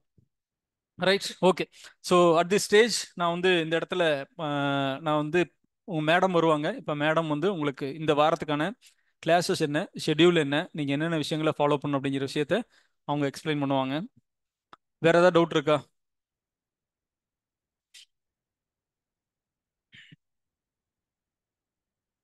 வேற ஏதாவது டவுட் இருக்கா? ஆன்லைன் ஸ்டூடெண்ட்ஸ் சார் என்னம்மா?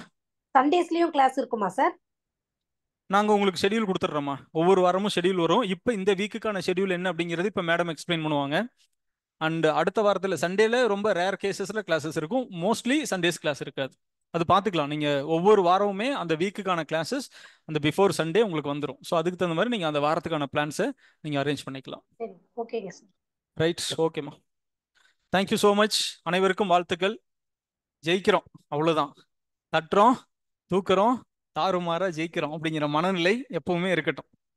அதனால தோல்வியை பற்றி எண்ணமே வரக்கூடாது.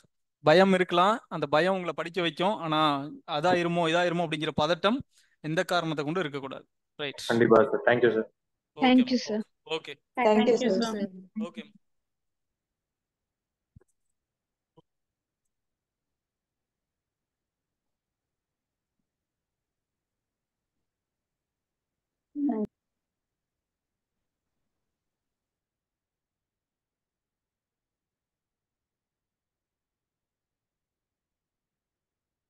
sir.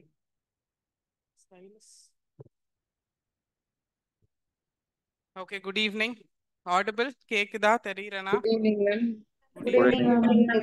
எப்படி Good evening, ma'am. எப்படி இருக்கீங்க மேடம் கொஞ்சம் சவுண்டா பேசுங்க மேடம் இன்னும் சவுண்டா பேசணுமா? எஸ் ஃபைன் நவ் பெட்டர் கேக்குதா? மேம் ஆ ஓகே எப்படி இருக்கீங்க? நல்லா ஓகே இருக்கேன். தேவையான மோட்டிவேஷன்ல ma'am. சாரே கொடுத்துட்டாரு. நான் எதுவும் கொடுக்கறதுக்குலாம் வரல. சார் எல்லாம் இன்ட்ரடக்ஷன்ல பேசுவார். நம்ம எல்லாம் கிளாஸ்ல பேசிக்கலாம். எஸ் சார் ஓகே நான் சிக்ஷா ஸ்டூடெண்ட்ஸ் எக்ஸ்ட்ராவா சிரிக்கிறாங்க. அது ஏன் சிரிக்கிறாங்கன்னு அவங்களுக்கு மட்டும்தான் தெரியுங்கிற மாதிரி. செல்வப்பிரியா விழுந்து விழுந்து சிரிக்கிறீங்களே. Okay so very ஹாப்பிங்க welcome to Shiksha mains schedule it's always a லெகசின்னு தான் நான் சொல்லுவேன் அது அப்படியே கண்டினியூ ஆயிட்டு இருக்கு மெயின்ஸை பொறுத்த வரைக்கும் it's very close to heart எப்பவுமே ப்ரிலிம்ஸ் மெயின்ஸ் எல்லாமே க்ளோஸ் டு ஹார்ட் தான் but group two two A mains எல்லாம் வெரி க்ளோஸ் டு ஹார்ட் தான் ஸோ அந்த legacy is again continuing and other new batch with so many students இன்னைக்கு attend பண்ண முடியாதவங்க இப்போ அட்மிஷன் போட்டுட்டு இருக்கவங்க அதெல்லாம் சேர்த்து இட்ஸ் லைக் ரொம்ப ஓவர்வெல்மிங்கான ஒரு பேட்ச் தான். த நம்பர் இஸ் ஹியூஜ் அப்படிங்கும் போது the success also will be huge அவ்வளோதான் என்னோட ஸ்டேட்மெண்ட் அதில். லாஸ்ட் குரூப் டூல இருந்ததோட நம்ம அது மாதிரி twice the number thrice the number இந்த தடவை வீல் சி லாஸ்ட் குரூப் டூவே வந்து it was a commendable success in result தான். ஓகே ஸோ நிறையெல்லாம் நான் பேச விரும்பல. ஆல்ரெடி சார் ஒரு ஒன்றரை மணி நேரம் பேசிட்டாரு. உங்களால் எந்திரிக்கவும் முடியல உட்காரவும் முடியல. பாவமாக தான் இருந்துச்சு பார்த்துக்கிட்டே இருந்தேன். பட் uh, அதனால I will not take much of your time அந்த ஸ்கெட்யூல் ரூல்ஸ் அண்ட் ரெகுலேஷன்ஸ் உங்களுக்கு இருக்கிற கொஞ்சம் அட்மினிஸ்ட்ரேட்டிவ் கன்வீனியன்ஸ் திங்ஸ் மட்டும் சொல்லிடுறேன். பட் டு பிகின் வித் நீங்களாம் மெயின்ஸ்க்கு உட்காந்து போகிற ஒன்றரை மணி நேரம் ஓரியன்டேஷன் செஷன் கேட்டுட்டு இருக்கும்போது I was thinking about my mains UPSC mains அது இதெல்லாம் யோசிச்சுட்டு இருந்தேன். ஒரு பெரிய லாங் ஜேர்னி அஃப்கோர்ஸ் ரொம்ப வருஷத்துக்கு முன்னாடி பத்து வருஷம் ஆயிடுச்சு but any thing UPSC mains ஒரு group one mains TNPSC mains mains mains தான். படிக்கணும் எழுதணும். அது நீங்க இவ்வளோ எழுதுறீங்களா அவ்வளோ எழுதுறீங்களா கண்டென்ட் இவ்வளோவா அவ்வளோவாங்கிறதா டிஃபர் ஆகுமே தவிர மெயின்ஸ் இஸ் மெயின்ஸ் இல்லையா? அப்போ வென் ஐ வாஸ் ப்ரிப்பேரிங் ஒரு அந்த பீரியட்ல the most important things that I always remembered அது வேணா நான் I thought I share it with you இந்த ஃபர்ஸ்ட் செஷன் சார் நிறைய சொல்லிட்டார். நான் எதுவுமே சொல்ல அப்படின்னா தோட்டக்குறை வெட்டக்கரை எல்லாம் முடிச்சுக்கிட்டு நானும் ஏதாவது சொன்னா கொலை குத்தமா எல்லாம் மாறாதில்ல so one thing that I always thought was mains படிக்கிறது ரொம்ப கஷ்டம். படிக்கணும் நிறைய எழுதணும் அதை டூப்ளிகேட் பண்ணணும் பாயிண்ட்ஸ் மறந்துடுவோம் டூ மெயின்ஸை பொறுத்த வரைக்கும். இப்போ இந்த தடவை டூ டூ ஏ இருக்குது அது டூ ஏ அப்புறம் பேசிக்கலாம். Two A I tend I don't think பெருசாக ப்ராப்ளம் இருக்காது. படிக்கிறது மட்டும் நிறைய படித்தா போதும். ஸோ டூ டூ மெயின்ஸில் நிறைய படிக்கணும் அதை ஞாபகம் வச்சு எழுதணும் ஸ்ட்ரக்சர் கொண்டு வரணும் ஸ்கெலிட்டன் இருக்கணும் ப்ராப்பராக அதை சின்க்ரனைஸ் பண்ணணும் கனெக்ஷன் இருக்கணும் கொஹிரன்ஸ் இருக்கணும். திடீர்னு மெயின்ஸுக்கு படிச்சுட்டு இருக்கும்போது ரொம்ப கஷ்டமாக இருக்கும். ஒரு மாதிரி ப்ரெஷர் ஆகிற மாதிரி இருக்கும். இதெல்லாம் நம்மளால் பண்ண முடியுமான்னு தோணும். அப்போ இது இதே மாதிரி டென் டைம்ஸ் ஜாஸ்தியாக இருக்கும் யூபிஎஸ்சி யூபிஎஸ்சிக்கு இது மாதிரி ஃபைவ் டைம்ஸ் ஜாஸ்தியாக இருக்கும் குரூப் ஒன்னுக்கு அந்த மாதிரி குரூப் டூவும் கஷ்டம் தான் நான் இல்லைன்னு சொல்லல. But I always use to think பேசாமல் கஷ்டப்பட்டு படிச்சிடலாம். ஃபெயிலியரு சக்ஸஸ்ஸு சாரி ஃபெயிலியரு இல்லைன்னா ஒழுங்கா படிச்சிருக்கலாமோங்கிற ரிக்ரெட்டோட படிக்கிறது ஈஸி அப்படின்னு நான் எப்போவுமே நினச்சிப்பேன். I think that is the only thing that keeps everybody going கஷ்டம் இன்னைக்கு படிக்காம அப்படியே மூடி வச்சுட்டு தூங்கினா நல்லா இருக்கும் நம்ம நினைச்சோம் அப்படின்னா ஐயோ படிக்கலையே நினைச்ச ஒரு நாள் ஃபீல் பண்ற ரிக்ரெட் இதோட வலி ஜாஸ்தியா இருக்கும். ஸோ இன்னைக்கு கஷ்டமா இருக்கும். It is not a smooth journey அது ஒரு ஸ்மூத் ஜேர்னி அப்படின்னா இன்னைக்கு யாருமே ரோட்ல போறவங்க ஆஃபீஸரா இருக்க மாட்டாங்க. எல்லாருமே ஆஃபீஸரா இருப்பாங்க. ஈஸியானா எல்லாத்துக்குமே அது கிடைச்சிரும். ஸோ அது அவ்வளோ ஈஸி இல்லைன்னு தெரிஞ்சும் நம்ம ஏன் பண்றோம்னா இதை பண்ணாம விட்டா வாழ்க்கை அவ்வளோ கஷ்டமா இருக்குமே அதுக்கு இதை பண்ணிட்டு செட்டில் ஆயிடலாம் அப்படிங்கிறது ஒன்று அண்ட் ரெண்டாவது every time you learn something for mains or prelims or எதுக்கு நீங்க படிச்சாலும் டூ டூ ஏவா ஒரு விஷயம் யோசிச்சுக்கோங்க. You are learning something or you are writing something worth reading நம்ம ஒன்று எழுத போகிறோம் அப்படின்னா அது ஒர்த் ரீடிங்காக இருக்கணும். இல்லைனா we should do something worth writing அவ்வளோதான் I think this is something that pushed me throughout பத்து வருஷம் கழிச்சு எனக்கு இது ஞாபகம் வந்துச்சானா அந்த அவ்வளோ மெமரிஸ் டவுன் த லேன் எனக்கு இது ஞாபகம் வந்து I think this is something that I wrote in my room என்னோட ரூம்ல எழுதி வச்சிருந்தது. Write something in your paper worth reading ஏதாவது ஒன்று படிக்கிற மாதிரி ஒழுங்கா பேப்பர்ல எழுதுற அளவுக்கு படி. இல்லை அப்படின்னா டூ சம்திங் ஒர்த் ரைட்டிங் சும்மாவே வாழ்க்கையை ஓட்டாது அப்படின்னு நான் எனக்கே சொல்லி எழுதி வச்சிருந்தது. So bringing back all those memories I think இது ரொம்ப beautiful way to start this mains preparation okay so படிக்கிறோம் படிக்கணும் கஷ்டமா இருக்கும். இதுல நிறைய ஆறு மாசம் டிராவல் பண்ணும். எல்லாம் தாண்டி ஒரு ஆட்டிடியூட் ஒன்று செட் பண்ணிக்கோங்க. ஒரு ஆஃபீஸர் ஆகணும். I am a material to become an officer நான் எதெல்லாம் என்னால ஆக முடியாதுன்னு நினைச்சனோ அதெல்லாம் நான் ஃபர்ஸ்ட் ஆகணும். அதுதான் success you need not have to work for somebody அப்பாக்காக அம்மாக்காக ஹஸ்பண்ட்காக குழந்தைக்காக அதெல்லாம் வேண்டாம். I want to become every thing that I once thought I can not become big I cannot become நான்லாம் ஆஃபீஸர் ஆக முடியுமா? ப்ரிலிம்ஸ் பாஸ் ஆயிட்டேன்ல. நான்லாம் மெயின்ஸ் எழுத முடியுமா? மெயின்ஸ் எழுதிருவீங்க. நான்லாம் இன்டர்வியூ போக முடியுமா? போயிடுவீங்க நான்லாம் கவர்மெண்ட் ஆஃபீஸர் ஆவனா சர்வீஸ் போயிருவீங்க.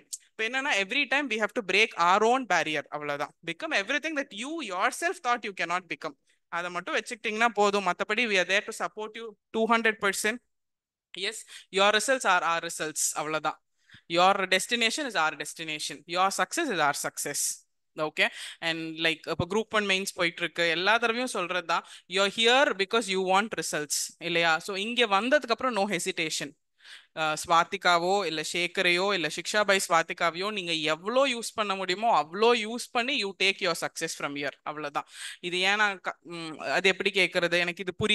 ஏன் கேட்கணும் இது எக்ஸ்ட்ரா சப்போர்ட் வேணும்? அது எப்படி கேட்கறது நோ ஹெசிடேஷன் நீங்கள் இங்கே வந்திருக்கீங்க அப்படின்னா உங்களுக்கு சர்வீஸ் வேணுங்கிறக்காக வந்திருக்கீங்க. You are here because you want service அதை நீங்கள் எடுத்துட்டு தான் இங்கேருந்து போகணும். Don't go empty handed from here வெறுங்கையை வீசிட்டு போறதுக்கு நம்ம யாருமே இங்க வரல. ஓகே ஸோ அது வந்து ரொம்ப ரொம்ப ஸ்ட்ராங்காக ஞாபகம் வச்சுக்கோங்க. We are not going to go empty handed from here சர்வீஸோட தான் போகணும். Clear so apart from this classes வந்து எப்படி போகும் அப்படின்னா schedule will be given for every week every week schedule கொடுத்துட்றோம் இந்த வீக் அடுத்த வீக்கான ஸ்கெடியூல் என்னன்னு நான் இன்னைக்கு சொல்லிடுறேன். ஸோ இதில் நிறைய கன்ஃபியூஷன் என்ன இருக்குது அப்படின்னா எங்கே மெயில் வருமா? வாட்ஸ்அப் வருமா? வாட்ஸ்அப் குரூப் வருமா அப்படின்னு. All communication through mail okay Swathika Shiksha by Swathika mains at Gmail dot com இந்த மெயில்ல இருந்து உங்களுக்கு மெயில் வரும்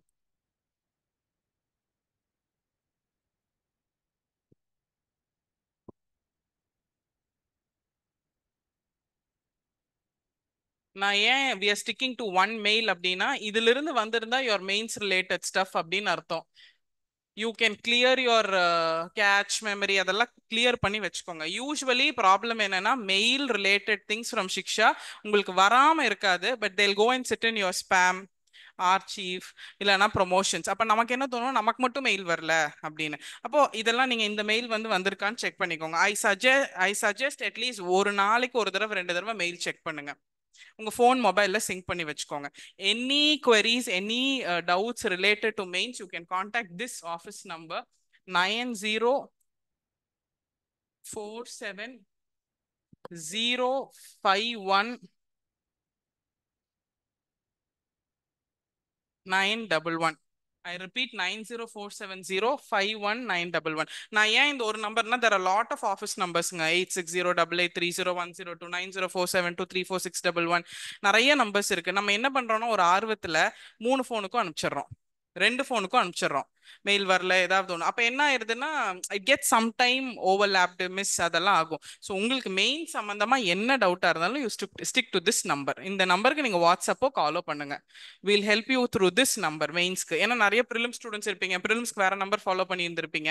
So we will not have any confusion regarding mains உங்கள் டூ டூ ஏ மெயின் சம்மந்தமா என்ன குவரிஸ்னாலும் we will stick to this number இந்த நம்பருக்கு வாட்ஸ்அப் பண்ணுங்க இல்லைனா கால் பண்ணுங்க. ஓகே ஸோ மெயின்ஸ்க்கு உங்களுக்கு எல்லா கம்யூனிகேஷனும் த்ரூ மெயில் மெயில் எந்த கம்யூனிகேஷன்ல எந்த மெயிலேருந்து வரும்னா கம்யூனிகேஷன் இந்த மெயிலேருந்து வரும். உங்கள் ஸ்பேம் உங்கள் ப்ரொமோஷன்ஸ்லாம் செக் பண்ணிக்கோங்க. ஒரு two to three times check பண்ணீங்கன்னா automatically it'll come to your inbox அதுக்கப்புறம் ஸ்டிக் டு திஸ் நம்பர் நீங்கள் என்ன டவுட் எது கேட்கறதுனாலும் அதுக்கப்புறம் கிளாஸ்ல இந்த ரெக்கார்டிங் டவுட் ஒரு பெரிய டவுட்டாக போயிட்டு இருக்கு. ம்? எஸ் சார் கிட்டயும் கேட்டுட்டு இருந்தீங்க. அந்த கிளாஸ் அட்டென்ட் பண்றது என்ன அப்படின்னா கிளாஸ் ஸ்கெட்யூல் வந்துடும் நைன்டி நைன் பர்சன்ட் அட்டென்ட் பண்ண ட்ரை பண்ணுங்க. சப்போஸ் அட்டன் பண்ணலைன்னா we'll have three different timing of classes okay ஒன்று six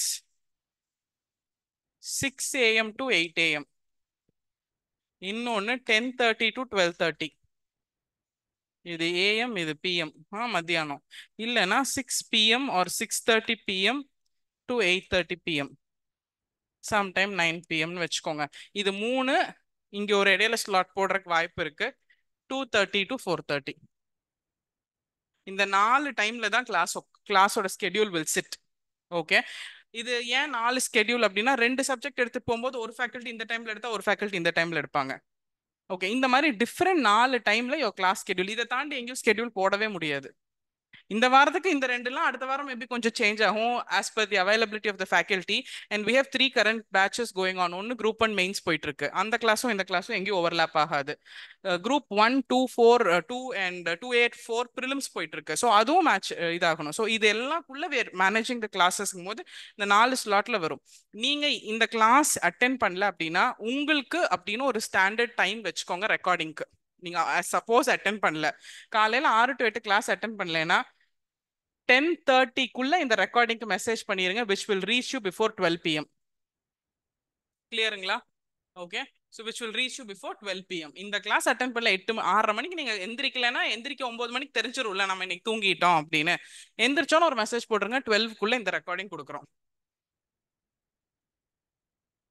Suppose ten thirty to twelve thirty class attend பண்ணலன்னா ரெக்கார்டிங் டூ பிஎம்குள்ளே கேட்டுருங்க. Will make sure it reaches you before five PM okay and two thirty to four thirty recording class attend பண்ணலைன்னா make sure you get you ask before seven PM we will make sure we give it to you before seven thirty PM okay இந்த evening class நீங்கள் attend பண்ணலைன்னா night என்ன நேரம்னாலும் recording போட்டுருங்க. மறுநாள் காலையில் ten தேர்ட்டிக்கு வந்தோன்னா தெல் கிவ் யூ ரெக்கார்டிங் ஏன் நான் டைமோட சொல்றேன்னா we need not have to get confused இப்போ இந்த six A six AM to eight AM class attend பண்ணிருக்க மாட்டீங்க.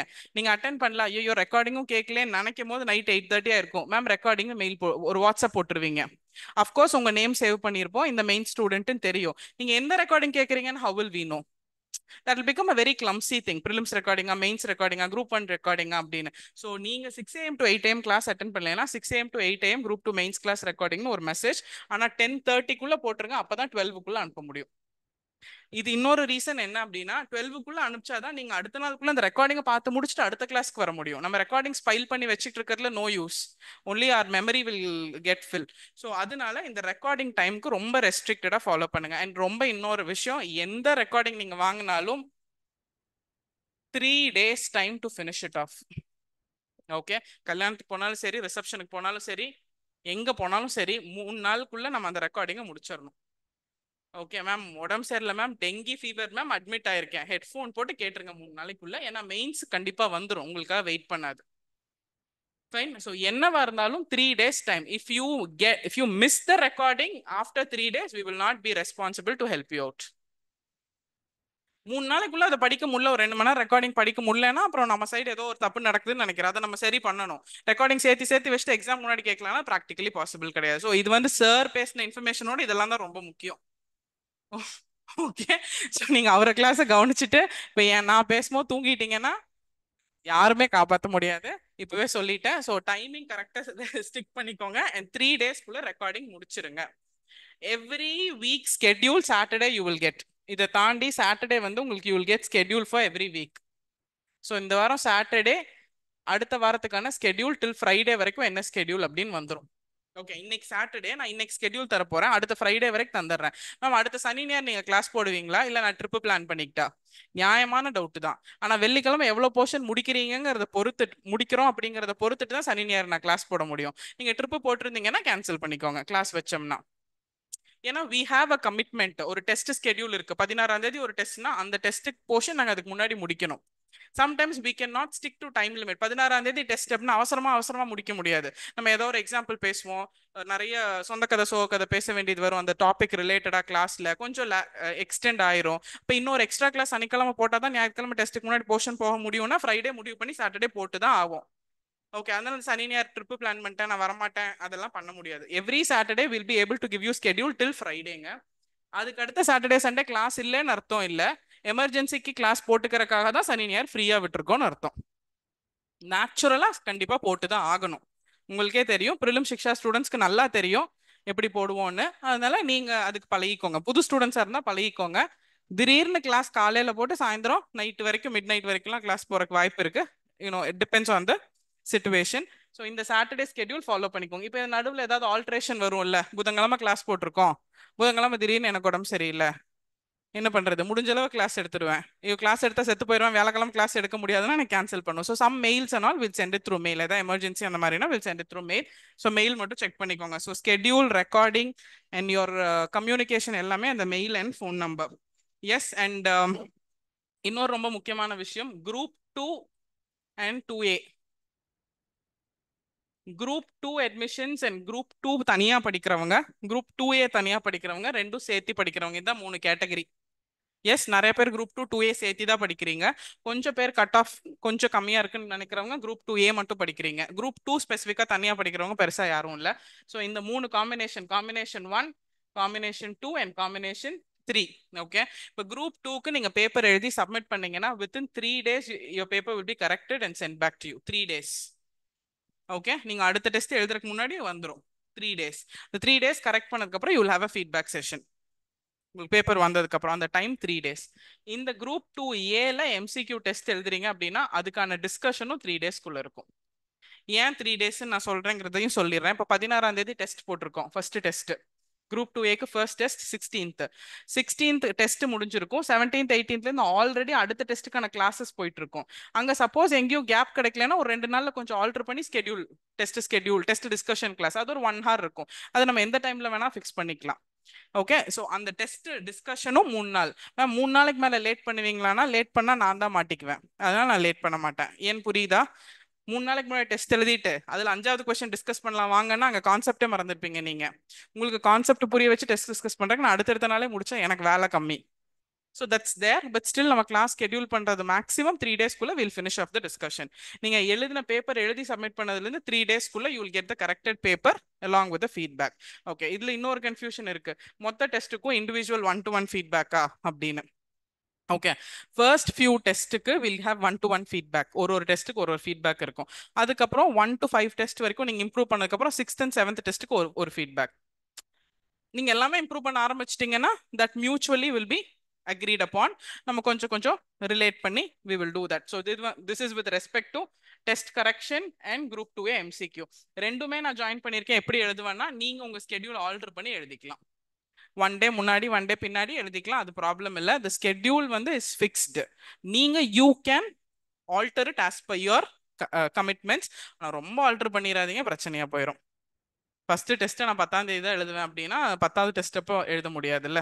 ஸோ அந்த அளவுக்கு you please stick to it yeah and twelfth வந்து உங்களுக்கு குரூப் டூ சேர்ந்துருக்கவங்களுக்கு டுவெல்த் வந்து first foundation test and seventeenth is your second foundation test கரெக்டா foundation test வந்து நீங்க பேசிக்கா எழுதி பழகிறதுக்கு தான். ஸோ அதுக்கு மெட்டீரியல் இல்லை.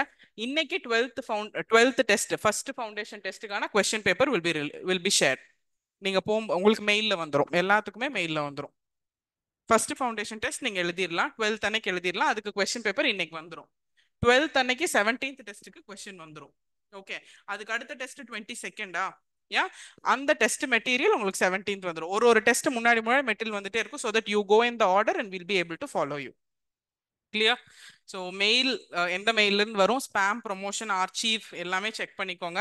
Stick to stick to that number for all your communication அப்புறம் ரெக்கார்டிங்க்கு ப்ராப்பராக ரெக்கார்டிங் சேனலைஸ் பண்ணிக்கோங்க. அண்ட் ரெண்டாவது நீங்கள் கிளாஸ் அட்டன் பண்ணலங்கிறது உங்களுக்கு மட்டும்தான் தெரியும். ரெக்கார்டிங் மிஸ் பண்ணிட்டீங்க அப்படின்னா அது ஒன்றும் பண்ண முடியாது. அந்த டைமில் வாங்கி கரெக்டாக எழுதி வச்சுக்கோங்க. அண்ட் உங்களோட பர்சனல் நோட்ஸ் கிரியேட் பண்ணுறது ரொம்ப important create your own personal reference notes and schedule will be shared okay fine வேறு ஏதாவது டவுட்ஸ் இருந்தால் டிஸ்கஸ் பண்ணலாம். அதுக்கு முன்னாடி இந்த வீக்குக்கு என்ன ஸ்கெடியூல்னு சொல்லிடுறேன். எத்தனை கிளாஸ் போடலாம் வாரத்துக்கு? எத்தனை கிளாஸ் போட்டால் தாங்குவீங்க? சும்மா சொல்லுங்க காசா பணமா?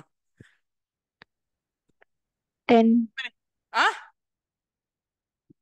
How many? Ten 10 ten classes. Two 10 classes. கேக்கல சரியா பெர் டே டூ கிளாஸ் போடலாம் ma'am per day per day two கிளாஸா ஓகே போட்டுக்கலாம் ஃபிஃப்த் அக்டோபர் இன்னைக்கு four PM we had orientation இது முடிஞ்சிருச்சு இப்போ Monday Tuesday Wednesday Thursday Friday அஞ்சு நாள். இந்த ஸ்கெடியூல் உங்களுக்கு மெயிலையும் வரும் பட் ஃபர்ஸ்ட் தடவைங்கிறக்காக நான் எக்ஸ்பிளைன் பண்ணுறேன் அதுக்கப்புறம் நீங்கள் பழகிடுவீங்க ஸ்கெடியூல் நீங்கள் சொல்லுவீங்க எனக்கு. ஏன் மண்டே டியூஸ்டே ஸோ டேட்ஸ் வந்து today's five six seven eight nine ten eleven am I correct okay so டியூஸ்டேலேருந்து we are starting இந்த அடுத்த வாரத்துக்கு. டியூஸ்டேலேருந்து we are starting Tuesday first class என்ன சப்ஜெக்ட் வேணும்? சரி இப்படி கேட்கலாம். சார் கிளாஸ் வேணுமா? என் கிளாஸ் வேணுமா? என்ன சொன்னாலும் மாட்டிப்பீங்க. புரியல. என்னது? யார் சொல்றீங்கன்னு நீங்க பிளான் ஐயோ ரெண்டு பேரும் ஒண்ணுதான் மேடம் ரெண்டு பேரும் ஒண்ணுதானா? இன்டர்வியூ போனா பாஸ் ஆயிருவீங்க. பாவம் இன்டர்வியூ வேற எடுத்துட்டாங்களே இந்த தடவை. என்ன பண்றது Gautam? Yes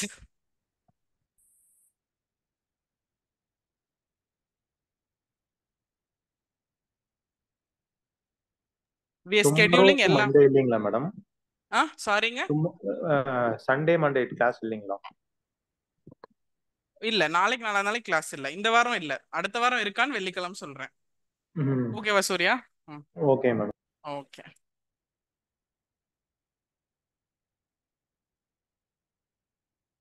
okay next week ஃபுல்லாக two to two hours class ப்ரிலிம்ஸ்க்கு அப்புறம் பெரிய கேப் படிச்சிருக்க மாட்டீங்க. உடனே முடிஞ்சால் முடியாது. ஆ? So six to eight ten thirty to twelve six to eight ten thirty twelve நாலு class Tuesday Wednesday Thursday Friday Friday இந்த ரெண்டு சப்ஜெக்டும் இங்கே ஒரு சப்ஜெக்ட் போகும் இங்கே ஒரு சப்ஜெக்ட் போகும். So this will be your subject one this will be subject two இங்கே சப்ஜெக்ட் ஒன் இங்கே சப்ஜெக்ட் டூ ஓகே ஃபைன் இது எவ்வளோ முடிஞ்சிருக்குன்னு பார்த்தா அடுத்த சாட்டர்டே சண்டே ஸ்கெடியூல் நம்ம ஃப்ரைடே ஈவினிங் உங்களுக்கு வந்துடும் இந்த டுவெல் ஓ கிளாஸ் முடிஞ்சோன்னே வந்துடும் சப்போஸ் நோ கிளாஸ்னா நோ கிளாஸ்ன்னு மெயில் வந்துடும் கிளாஸ் இருந்துச்சுன்னா கிளாஸ் இருக்குன்னு மெயில் வரும். அப்புறம் சாட்டர்டே ஈவினிங் அடுத்த வாரத்துக்கான ஸ்கெடியூல் வந்துடும் புரிஞ்சிச்சுங்களா என்ன பண்ண போகிறோம் அப்படின்னு? Six to eight AM classes will be online ஆறு மணிக்கெலாம் கஷ்டப்பட்டு வர வேண்டாம். டென் தேர்ட்டி கிளாஸ்க்கு ஆஃப்லைன் ஸ்டூடெண்ட்ஸ் வந்துருங்க. இன்னைக்கு மாதிரி இல்லைங்க. ஆஃப்லைன் ஸ்டூடெண்ட்ஸ் ஆஃப்லைன் வரணும். ஆன்லைன் ஸ்டூடெண்ட்ஸ் ஆன்லைனில் இருக்கணும். Okay done so this will be sir subject this will be my subject காலைல six o'clock sir subject ten o'clock my subject என்ன சப்ஜெக்ட் அதெல்லாம் நம்ம ஆறு மணிக்கு அன்னைக்கு பார்த்துக்கலாம் டன் வேற என்ன? இது இந்த ரெண்டு சப்ஜெக்ட்டுமே உங்கள் டெஸ்ட் ஸ்கெடியூல் பேஸ் பண்ணி தான் போகும். உங்களுக்கு ஃபர்ஸ்ட் டெஸ்ட் ஐஎன்எம் இருக்கு செகண்ட் டெஸ்ட் பாலிட்டி இருக்கு. ஐஎன்எம் பாலிட்டியும் பேரலாக போகுதா டெஸ்ட் டெஸ்ட் ஸ்கெடியூல் பார்த்துருக்கீங்களா INM polity so INM polity பேரலாக கொண்டு போய் both of will finish okay கடைசியாக நீங்கள் சொல்லுங்கள் ஐஎன்எம் நல்லா இருந்துச்சா? பாலிட்டி நல்லா இருந்துச்சான்னு. ஓகே டன் வேற என்ன டவுட்ஸ் ஸ்டார்டிங்லேயே சொல்றதுனால ஓகே அது உங்க பிரச்சனை. யா வேற என்ன doubts any doubts apart from this இந்த மெயின் இன்ஸ்ட்ரக்ஷன்ஸ்ல நிறைய கன்ஃபியூஷன்ஸ் வரும். இது எப்படி ஃபாலோ பண்ணுறது இதை தாண்டி நீங்கள் எப்போ வேணாலும் யூ கேன் ரீச்சஸ் நீங்கள் ஒரு வாய்ஸ் நோட் போட்டால் கூட அந்த voice note will be directly forward to me ஏதாவது சொல்லணும் பேசணும் என்னன்னா ஒரு வாய்ஸ் நோட் போட்டு please forward this to ma'am இல்லை உங்களுக்கு சாருக்கு சொல்லணும்னா சார்னு சொன்னால் அடுத்த அந்த மெசேஜ் ஓப்பன் பண்ணி அடுத்த அஞ்சாவது செகண்ட் எங்களுக்கு ஃபார்வர்ட் பண்ணிடுவாங்க அதை தாண்டி நீங்கள் எப்போ வேணாலும் வரலாம் பார்க்கலாம் பேசலாம் அதெல்லாம் ஒன்றும் பிரச்சனை இல்லை. பேசிக்கலாம் பழகிக்கலாம் அதெல்லாமே பண்ணிக்கலாம். But anything that you want to communicate you can always do okay and உங்களுக்கு வேற எதுவும் டவுட்ஸ் இல்லைன்னா நான் சொல்கிறேன் பயந்துட்டே பண்ணும்போது எஃபெக்டிவ்னஸ் குறைஞ்சிரும். நல்லா ஃப்ரீயாக ஹாப்பியாக பண்ணிங்கன்னா ஒரு விஷயம் ரொம்ப அழகாக பண்ணுவோம். பிரியாணி வருமா வராதான்னு நாளைக்கு போய் பண்ணிங்கன்னா வராது. பிரியாணி தானே வந்துராதான்னு பண்ணீங்கன்னா வந்துடும் எஸ் அவ்வளோதான் attitude your attitude is going to determine the result ஆட்டிடியூடை fix பண்ணி மைண்ட் செட்டை ஃபிக்ஸ் பண்ணிட்டீங்கன்னா இட்ஸ் லைக் தட்டுறோம் தூக்குறோம் அவ்வளோதான் ஓகே ரொம்ப எல்லாம் கன்ஃபியூஸ் ஆயிக்காதீங்க டென்ஷன் ஆயிக்காதீங்க. ரொம்ப ஆவரேஜ் இப்போ சார்லாம் சர்வீஸ் வாங்கியிருக்காரு நம்ம வாங்க மாட்டோமா? அப்படி யோசிங்க. நான் வேற ஏதோ எக்ஸாம்பிள் சொல்ல போனேன். சரி ஏன் அவரை விட்டுவானே அப்படின்னு. Just like that every ordinary person get service okay ஏன்? ரொம்ப ரொம்ப அறிவாளியா என்ன மாதிரி இருந்தால் தான் அப்பப்போ சர்வீஸ் கிடைக்காது. ரெண்டுமே இப்படி எக்ஸாம்பிள் எழுதிக்கோங்க. டூ மச் லாட் ஆஃப் இன்ஃபர்மேஷனும் தேவையில்லை. நம்ம எதுலையுமே பிஹெச்டி பண்ண போகிறதும் கிடையாது. ஓகே ஸோ பிஹெச்டிலாம் பண்ணி நிறைய விஷயம் படிச்சுக்கிட்டே இருந்தால் founder of Shiksha by Swathika அப்படி தான் ஆக முடியும். தேவையானது மட்டும் படித்தா சர்வீஸ் வாங்கிடலாம். கன்ஃபியூஸ் எல்லாம் ஆகாதீங்க. டோன்ட் டோன்ட் டேக் ஸ்ட்ரெஸ் ரொம்ப ஓவர்வெல்மிங் அதெல்லாம் பண்ணாதீங்க. இப்போ தான் நம்ம ஸ்டார்ட் பண்ணுறோம் இன்னும் நமக்கு ஃபெப்ரவரியில தான் எக்ஸாம் சொல்லியிருக்காங்க. மார்ச்சில் தான் குரூப் டூ ஏ வரப்போகுது. ஸோ தேவையான டைம் இருக்குது இன்னும் தேவையான டைம் இருக்குது ஓகே ஆனால் என்னன்னா நம்ம ஸ்டாப் பண்ணக்கூடாது ஸ்டாக்னண்டா இருக்கக்கூடாது. One thing at a time move பண்ணிக்கிட்டே இருக்கணும். எதுவுமே பண்ணாமல் இருக்கக்கூடாது. ஆனால் ஏதோ ஒன்று பண்ணிக்கிட்டே இருந்தால் மூவ் ஆயிடலாம் ஓகே எஸ் அவ்வளோதான் ஃபர்ஸ்ட் நாளே இதுக்கு மேலெல்லாம் பேசினா அடுத்த நாள் வரமாட்டீங்கல்ல? ஆ வேற ஏதாவது டவுட்ஸ் இருக்கா? ஆன்லைன் ஆஃப்லைன் மேம் ஃபவுண்டேஷன் டெஸ்ட்க்கு ஆன்சர் புக்லெட் கொடுப்பீங்களா? ஓகே திவ்ய பாரதிக்கும் அவங்களுக்கும் எல்லாத்துக்கும் அதே டவுட் ஃபவுண்டேஷன் டெஸ்ட்க்கு ஃபர்ஸ்ட் கொஸ்டின் கொடுத்துருவோம். நீங்க ஒர்க் அவுட் பண்ணி நீங்க ரீசர்ச் பண்ணி நீங்க ப்ரிலிம்ஸ்லாம் படிச்சு பாஸ் பண்ணி பயங்கரமா நாலேஜபிளா இருப்பீங்கல்ல அதை வச்சு நீங்க ஃபவுண்டேஷன் டெஸ்ட் எழுதிருங்க. அப்புறம் நாங்க செக் பண்ணிடுறோம். ஓகே அங்கிருந்து will take it forward second twenty செகண்டோட first formal டெஸ்ட்ல இருந்தால் material be given foundation test வந்து உங்களோட என்ன சொல்றது டிஸ்கிரிஷனரி பவர் பாலிட்டி அப்படிங்கிற மாதிரி டிஸ்கிரிஷனரி பவரை யூஸ் பண்ணி என்ன வேணா எழுதலாம். திட்டி மட்டும் எழுதுறாதீங்க நான் தான் கரெக்ட் பண்ணுவேன். அதை தாண்டி என்ன வேணா எழுதலாம். Will be able to understand நீங்க உங்களை புரிஞ்சுக்குவீங்க அந்த ஃபவுண்டேஷன் டெஸ்ட்ல ஃப்ரம் தேர் நம்ம செகண்ட் டெஸ்ட்ல இருந்து வில் டேக் இட் ஃபார்வர்ட் ம்? ஓகே வேற என்ன டவுட்ஸ் மேம் ம். Ma'am mostly morning six to eight class வந்து அட்டன் பண்றது கொஞ்சம் கஷ்டம் தான். மேம் ரெக்கார்டிங் வாங்கிக்கலாம் ma'am morning six to. Eight attend பண்றது கஷ்டமா? சமைச்சிட்டு இருப்பீங்களா? எஸ் மேம் ரெக்கார்டிங் கொடுத்தா பார்சல் அனுப்புவீங்களா? வாங்கிக்கோங்க நாங்க இப்போ கிளாஸ். எடுப்போம்ல அதனால தான் கேட்டேன். எஸ் சிக்ஸ் டு எயிட் மதர்ஸ்க்கு மட்டும் என்ன சொல்றது? பெர்மிஷன் இருக்கு. அம்மா தாய்மார்கள் தாய் குலங்களுக்காக ஆறு டு எட்டு கிளாஸ் மற்றபடி எல்லாரும் அட்டன் பண்ணிருங்க. ஏன் எல்லா நாளும் ஆறு டு எட்டு கிளாஸ்லாம் இருக்காது. ரெண்டு நாள் தான் இருக்கும். ஸோ ஏதாவது அஞ்சு மணிக்கே எந்திரிச்சு ரெடி பண்ணி வச்சுட்டு ஒரு one hour one and half hour class attend பண்ணிட்டு அந்த மாதிரி ஏதாவது மேனேஜ் பண்ண முடியும். அதுக்காக தானே கண்டுபிடிச்சிருக்காங்க. Maggi bread sandwich bread omelette pasta வாழைப்பழம் பப்பாளி பழம் ஆப்பிள் இதெல்லாம் யூஸ் பண்ணுங்க? ஸ்கூல்ல ரெஸ்ட்ரிக்ஷன்ஸ் வேற மேம் மேகி ஜங்க் ஃபுட்ஸ் எல்லாம் கொடுக்க கூடாது. இங்க இங்க சாப்பிட வச்சு அனுப்பிச்சிருங்க. இந்தோ நமக்கா தெரியாது டெக்னிக் எஸ் என்ன வேணாலும் பண்ணலாம். நினைச்சா என்ன வேணாலும் பண்ணலாம். அதுக்காக தான் மேம் என்னன்னைக்கெல்லாம் கிளாஸ் இருக்கோ சிக்ஸ் டு எயிட் அன்னைக்கு healthy breakfast raw fruits and vegetables cut பண்ண வேண்டியது ஹஸ்பண்டோட வேலை அப்படின்னு அனௌன்ஸ் பண்ணிருங்க. ஓகே வேற என்ன? இந்த மாதிரி ஏதாவது அபார்ட் ஃப்ரம் கிளாஸஸ் சப்போர்ட் வேணாலும் நான் கொடுக்குறேன். I am a very experienced person in that done அவ்வளோதானா வேற? கூட்டு வந்த ஹஸ்பண்ட் நினைக்கிறாரு. தப்பான இடத்துல சேர்த்து விட்டோன்னு. ஆமா தானே பார்த்து போட்டுருங்க அவருக்கு பிரியாணி. சரியா? ஓகே ஆ? படிக்கணும். கரெக்ட் படிக்கணும். ஃப்ரூட் சாப்பிட்டு கார்ன்ஃப்ளேக்ஸ் சாப்பிட்டு கூட படிக்கணும். எஸ் வேற என்ன டவுட்ஸுங்க no doubts ma'am foundation test one question இன்னைக்கே வந்துருமாங்க ma'am foundation test one question ma'am ah foundation test ஒன்னோட கொஸ்டின் பேப்பர் உங்களுக்கு இன்னைக்கு வந்துடும் இன்னைக்கு என்ன அஞ்சாம் தேதி தான். ஏழு நாள் இருக்கு. பன்னெண்டாம் தேதி டெஸ்ட் எழுதுனா போதும். ஸ்ட்ராங் ஃபவுண்டேஷன் பில்ட் பண்ணி எழுதுங்க டெஸ்ட்டை பார்த்துடலாம் ஆ? அஸ்திவாரம் எவ்வளோ ஸ்ட்ராங்குன்னு நாங்கள் பார்த்துடுறோம் டன் வேற என்னங்க? I have only one request sir start பண்ணும்போது ப்ராபப்ளாக சொன்னார் பாவம் மைக் ஒர்க் ஆகல. அதையே திருப்பி சொல்கிறேன் Rome wasn't built in a single day அவ்வளோதான் no big castles are built in built on a single day ஒரு ஒரு செங்கல் தான். கொஞ்சம் கொஞ்சமாக மூவ் பண்ணால் அல்டிமேட்டாக what has to happen will happen பெரு ஃபவுண்டேஷன் டெஸ்ட்லயே நான் வந்து குரூப் டூ ஸ்டேட் டாப்பர் ஆகணும்னு நினைச்சா முடியாது. ஆனால் ஃபவுண்டேஷன் டெஸ்ட்ல இருக்கிற இது ஆக்சுவலி இன்னொரு பியூட்டிஃபுல் திங் என்ன அப்படின்னா nobody can be your best teacher நான் ஒரு பெஸ்ட் டீச்சர்னு சொல்ல முடியாது. சார் ஒரு பெஸ்ட் டீச்சர்னு சொல்ல முடியாது. But your last mistake is your best teacher நான் போன தடவை பண்ண தப்பு மட்டும் இந்த தடவை பண்ணாம இருந்தனாலே நான் வாழ்க்கையில் உருப்பட்டுருவேன் யா அது மட்டும் நீங்க ஞாபகம் வச்சுக்கோங்க. ஃபவுண்டேஷன் டெஸ்ட் எதுக்குன்னா டெஸ்ட் ஒன்ல இருந்து டெஸ்ட் டூ கரெக்ட் பண்றதுக்கு. டெஸ்ட் ஒன்னும் டெஸ்ட் டூவும் நீங்க ராவா எழுதியிருப்பீங்க. அப்போ உங்க லெவல் தெரிஞ்சிடும் அந்த லெவல்ல இருந்து நம்ம அஞ்சாவது டெஸ்ட்லயும் பத்தாவது டெஸ்ட்ல இம்ப்ரூவ் ஆகி போயிருந்தோம்னால it is done okay your last mistake only will teach you போன தடவை ப்ரிலிம்ஸ் எத்தனையோ பேர் கிளியர் பண்ணல. அவங்க எல்லாம் அதை கரெக்ட் பண்ணனால தான் இன்னைக்கு மெயின்ஸ் கிளாஸ்ல உட்காந்துட்டு இருக்கீங்க. போன மெயின்ஸ் வராத ரெண்டு மூணு பேர் இருக்காங்க. அவங்க கண்டிப்பா இந்த தடவை அடிச்சு தூக்கிடுவீங்க so we are only trying to correct ourself நம்ம நம்மளோட பெட்டராக தான் இருந்து ட்ரை பண்ணிக்கிட்டே இருக்க போகிறோம் கிளியர் ஓகே ரொம்பலாம் stress ஆகிக்காதீங்க tension group and mains paper correction போயிட்டு இருக்கு நான் ஒரு பாக்ஸ் ஆஃப் சாக்லேட்ஸ் வாங்கி ரூம்ல வச்சிருக்கேன். போன டெஸ்ட்ல இருந்து இந்த டெஸ்ட்க்கு இம்ப்ரூவ் ஆனா சாக்லேட்லாம் கொடுக்குறேன். ஏன்னா அது ரொம்ப பெரிய விஷயம். மெயின்ஸ் எழுதும் போது தான் தெரியும். இது என்ன சின்ன பிள்ளைத்தனமா சாக்லேட்டுன்னு என்னை பார்த்து லூசுன்னு கூட நினைக்கலாம் நீங்க. பட் நீங்க லூசுன்னு நினைச்சாலும் எழுதி பார்த்தா தான் தெரியும் யாரும் லூஸ் அப்படின்னு. இட்ஸ் ஆக்சுவலி வெரி ஹார்ட் நேத்து ஆஃப்லைன்ல டெஸ்ட் எழுதினாங்க. என்ன சொல்றது? கமெண்டபிள் இம்ப்ரூவ்மெண்ட் போன டெஸ்ட்டுக்கும் இதுக்கும். என்ன பண்ணியிருப்பாங்கன்னா கரெக்டாக நம்பர் போட்டு எழுதியிருக்காங்க. அதுவே கமெண்டபிள் இம்ப்ரூவ்மெண்ட் ஆனால் மூணு மணி நேரத்தில் உட்காந்து அவ்வளோ ஸ்ட்ரெஸ் இல்லை படித்தது டூப்ளிகேட் டூப்ளிகேட் பண்ணி ரெப்ளிகேட் பண்ணி கரெக்டாக எழுதும் போது தான் தெரியும். அந்த கரெக்டாக நம்பர் போட்டு எழுதுனது கூட அவ்வளோ பெரிய விஷயம். ஒரு ஒரு சின்ன விஷயமா இம்ப்ரூவ் பண்ணிட்டு போனாதான் ஃபைனலாக இது வரும். ஓகே ஸோ அந்த அளவுக்கு நீங்களுமே உங்களை புரிஞ்சுக்கோங்க. ஒரே நைட்ல சிட்டி ரோபோ மாதிரி படிச்செல்லாம் பாஸ் பண்ண முடியாது. ஓகே ரொம்ப ஸ்லோவாக எடுத்துகிட்டு போங்க. வி ஹாவ் டைம் இன்னும் ஐ டோன்ட் நோ இது நான் சொல்லலாமான்னு தெரியல. நிறைய பேர் நிறைய அகாடமிஸ் இன்னும் ஸ்கெடியூலே ஃபைனலைஸ் பண்ணல. என்ன பண்ண போறாங்கன்னே டிசைட் பண்ணல. கிளாஸ் வைக்கிறாங்களா இல்லையானே தெரியல. ஓகே அப்படி பார்க்கும்போது we are always one step ahead but one step better from எஸ்டர்டேங்கிறத மட்டும் நினச்சிக்கிட்டே போயிட்டு இருக்கலாம் ஓகே டன் வேற ஏதாவது டவுட் இருக்குங்களா? எஸ் நோ டவுட்ஸ் நோ டவுட்டா எல்லாமே புரிஞ்சால் டவுட் இருக்காது. எதுவுமே புரியலனாலும் டவுட் இருக்காது. மேம் டெஸ்ட் ரூல்டு ரூல்டு பேப்பர்ல எழுதணுமா?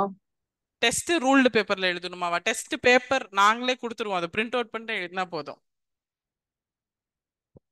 Your test uh, booklets will come to you in uh, mail for online students. Offline students இங்க வந்துரும். ஓகே அது வந்து ஃபர்ஸ்ட் டெஸ்ட்டுக்கு முன்னாடி will have a session and will tell you எப்படி எழுதுறது எல்லாமே சொல்லிடுறோம். ஓகே இப்போ ஃபர்ஸ்ட் கிளாஸ் போகும். ஃபர்ஸ்ட் டெஸ்ட்டுக்கு முன்னாடி லாஸ்ட் கிளாஸ்லேயே நான் கிளியராக டெஸ்ட் எப்படி எழுதுங்கிற இன்ஸ்ட்ரக்ஷன் கொடுத்துட்றேன் எப்படி ஸ்பேசிங் பண்ணணும்? எப்படி மார்ஜின்ல இருந்து எவ்வளோ அலைன்மெண்ட் பண்ணணும்? எவ்வளோ லைன் ஸ்பேசிங் விடணும்? கண்டென்ட் எப்படி எழுதணும்? சப்ஹெட்டிங்க்கு என்ன அன்லைன் பண்ணணும்? என்ன பாக்ஸ் போடணும்? எல்லாமே அல் tell இந்த last class before the first test okay அதை வச்சு நீங்க ஃபர்ஸ்ட் டெஸ்ட் எழுதுங்க. பட் அப்போ பெர்ஃபெக்ட்டா எழுத முடியுமானா முடியாது. அங்கிருந்து we will improve clear yes வேற ஏதாவது டவுட்ஸ் இருக்குங்களா? ஓகே இது எப்படி ஸ்டா நீ இது எப்படி நினைக்கிறீங்க? இட்ஸ் நியூ ஜேர்னி நினைக்கிறீங்களா? இல்ல it's the journey towards success uh, நினைக்கிறீங்களாங்கிறது தான் நீங்க இன்னைக்கு டிசைட் பண்ணிக்கணும். ஓகே புதுசா ஒன்று படிக்கிறோம் ட்ரை பண்ணி பார்ப்போம் இல்ல. இன்னையில இருந்து நான் ஆஃபீஸரா மாறுறேங்கிறது தான் okay start treating yourself as an officer ஒரு க்ரீனிங் வாங்கி வச்சுக்கோங்க. ஓகே இல்லைனா ஒரு க்ரீனிங் வாங்கி வச்சுக்கோங்க. தப்பு இல்லை மேம் குரூப் டூ தான் மேம் படிக்கிறேன். பரவாயில்ல. நாளைக்கு குரூப் ஒன்று எழுதுவோம். க்ரீனிங் வாங்கி வச்சுக்கோங்க. படிக்கும் போது டென்ஷன் ஆகி ஸ்ட்ரெஸ் ஆனா ஒரு நாலு ஏ ஃபோர் ஷீட் வச்சுக்கோங்க. க்ரீனிங்கில் சைன் போடுங்க. Okay small things that you do for yourself தான் இன்ஸ்பயர்ஸ் எனக்காக நான் ஏதாவது பண்ணிக்கிட்டா தான் நாளைக்கு எனக்காக நான் இதை விட பண்ணிக்கணும்னு ஆசை வரும். நான் இன்னொருத்தருக்காக பண்ணுற விஷயங்கள் அடுத்த நாள் மோட்டிவேட்டே ஆகாது பண்ணணும்னு. எனக்காகவே நான் எதாவது பண்ணிக்கணும்னு நினச்சா நான் பண்ணிக்கிட்டே இருப்பேன்.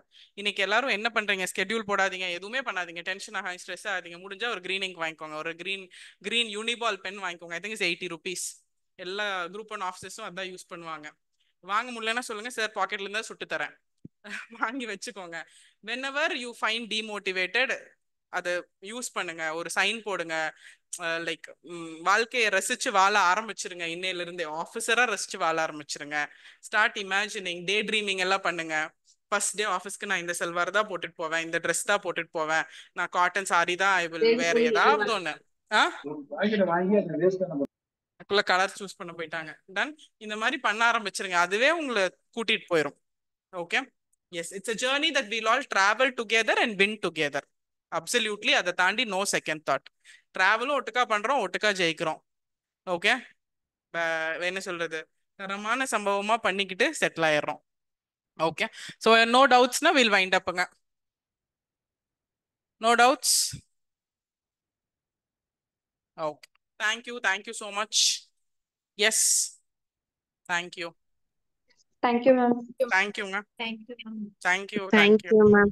Thank you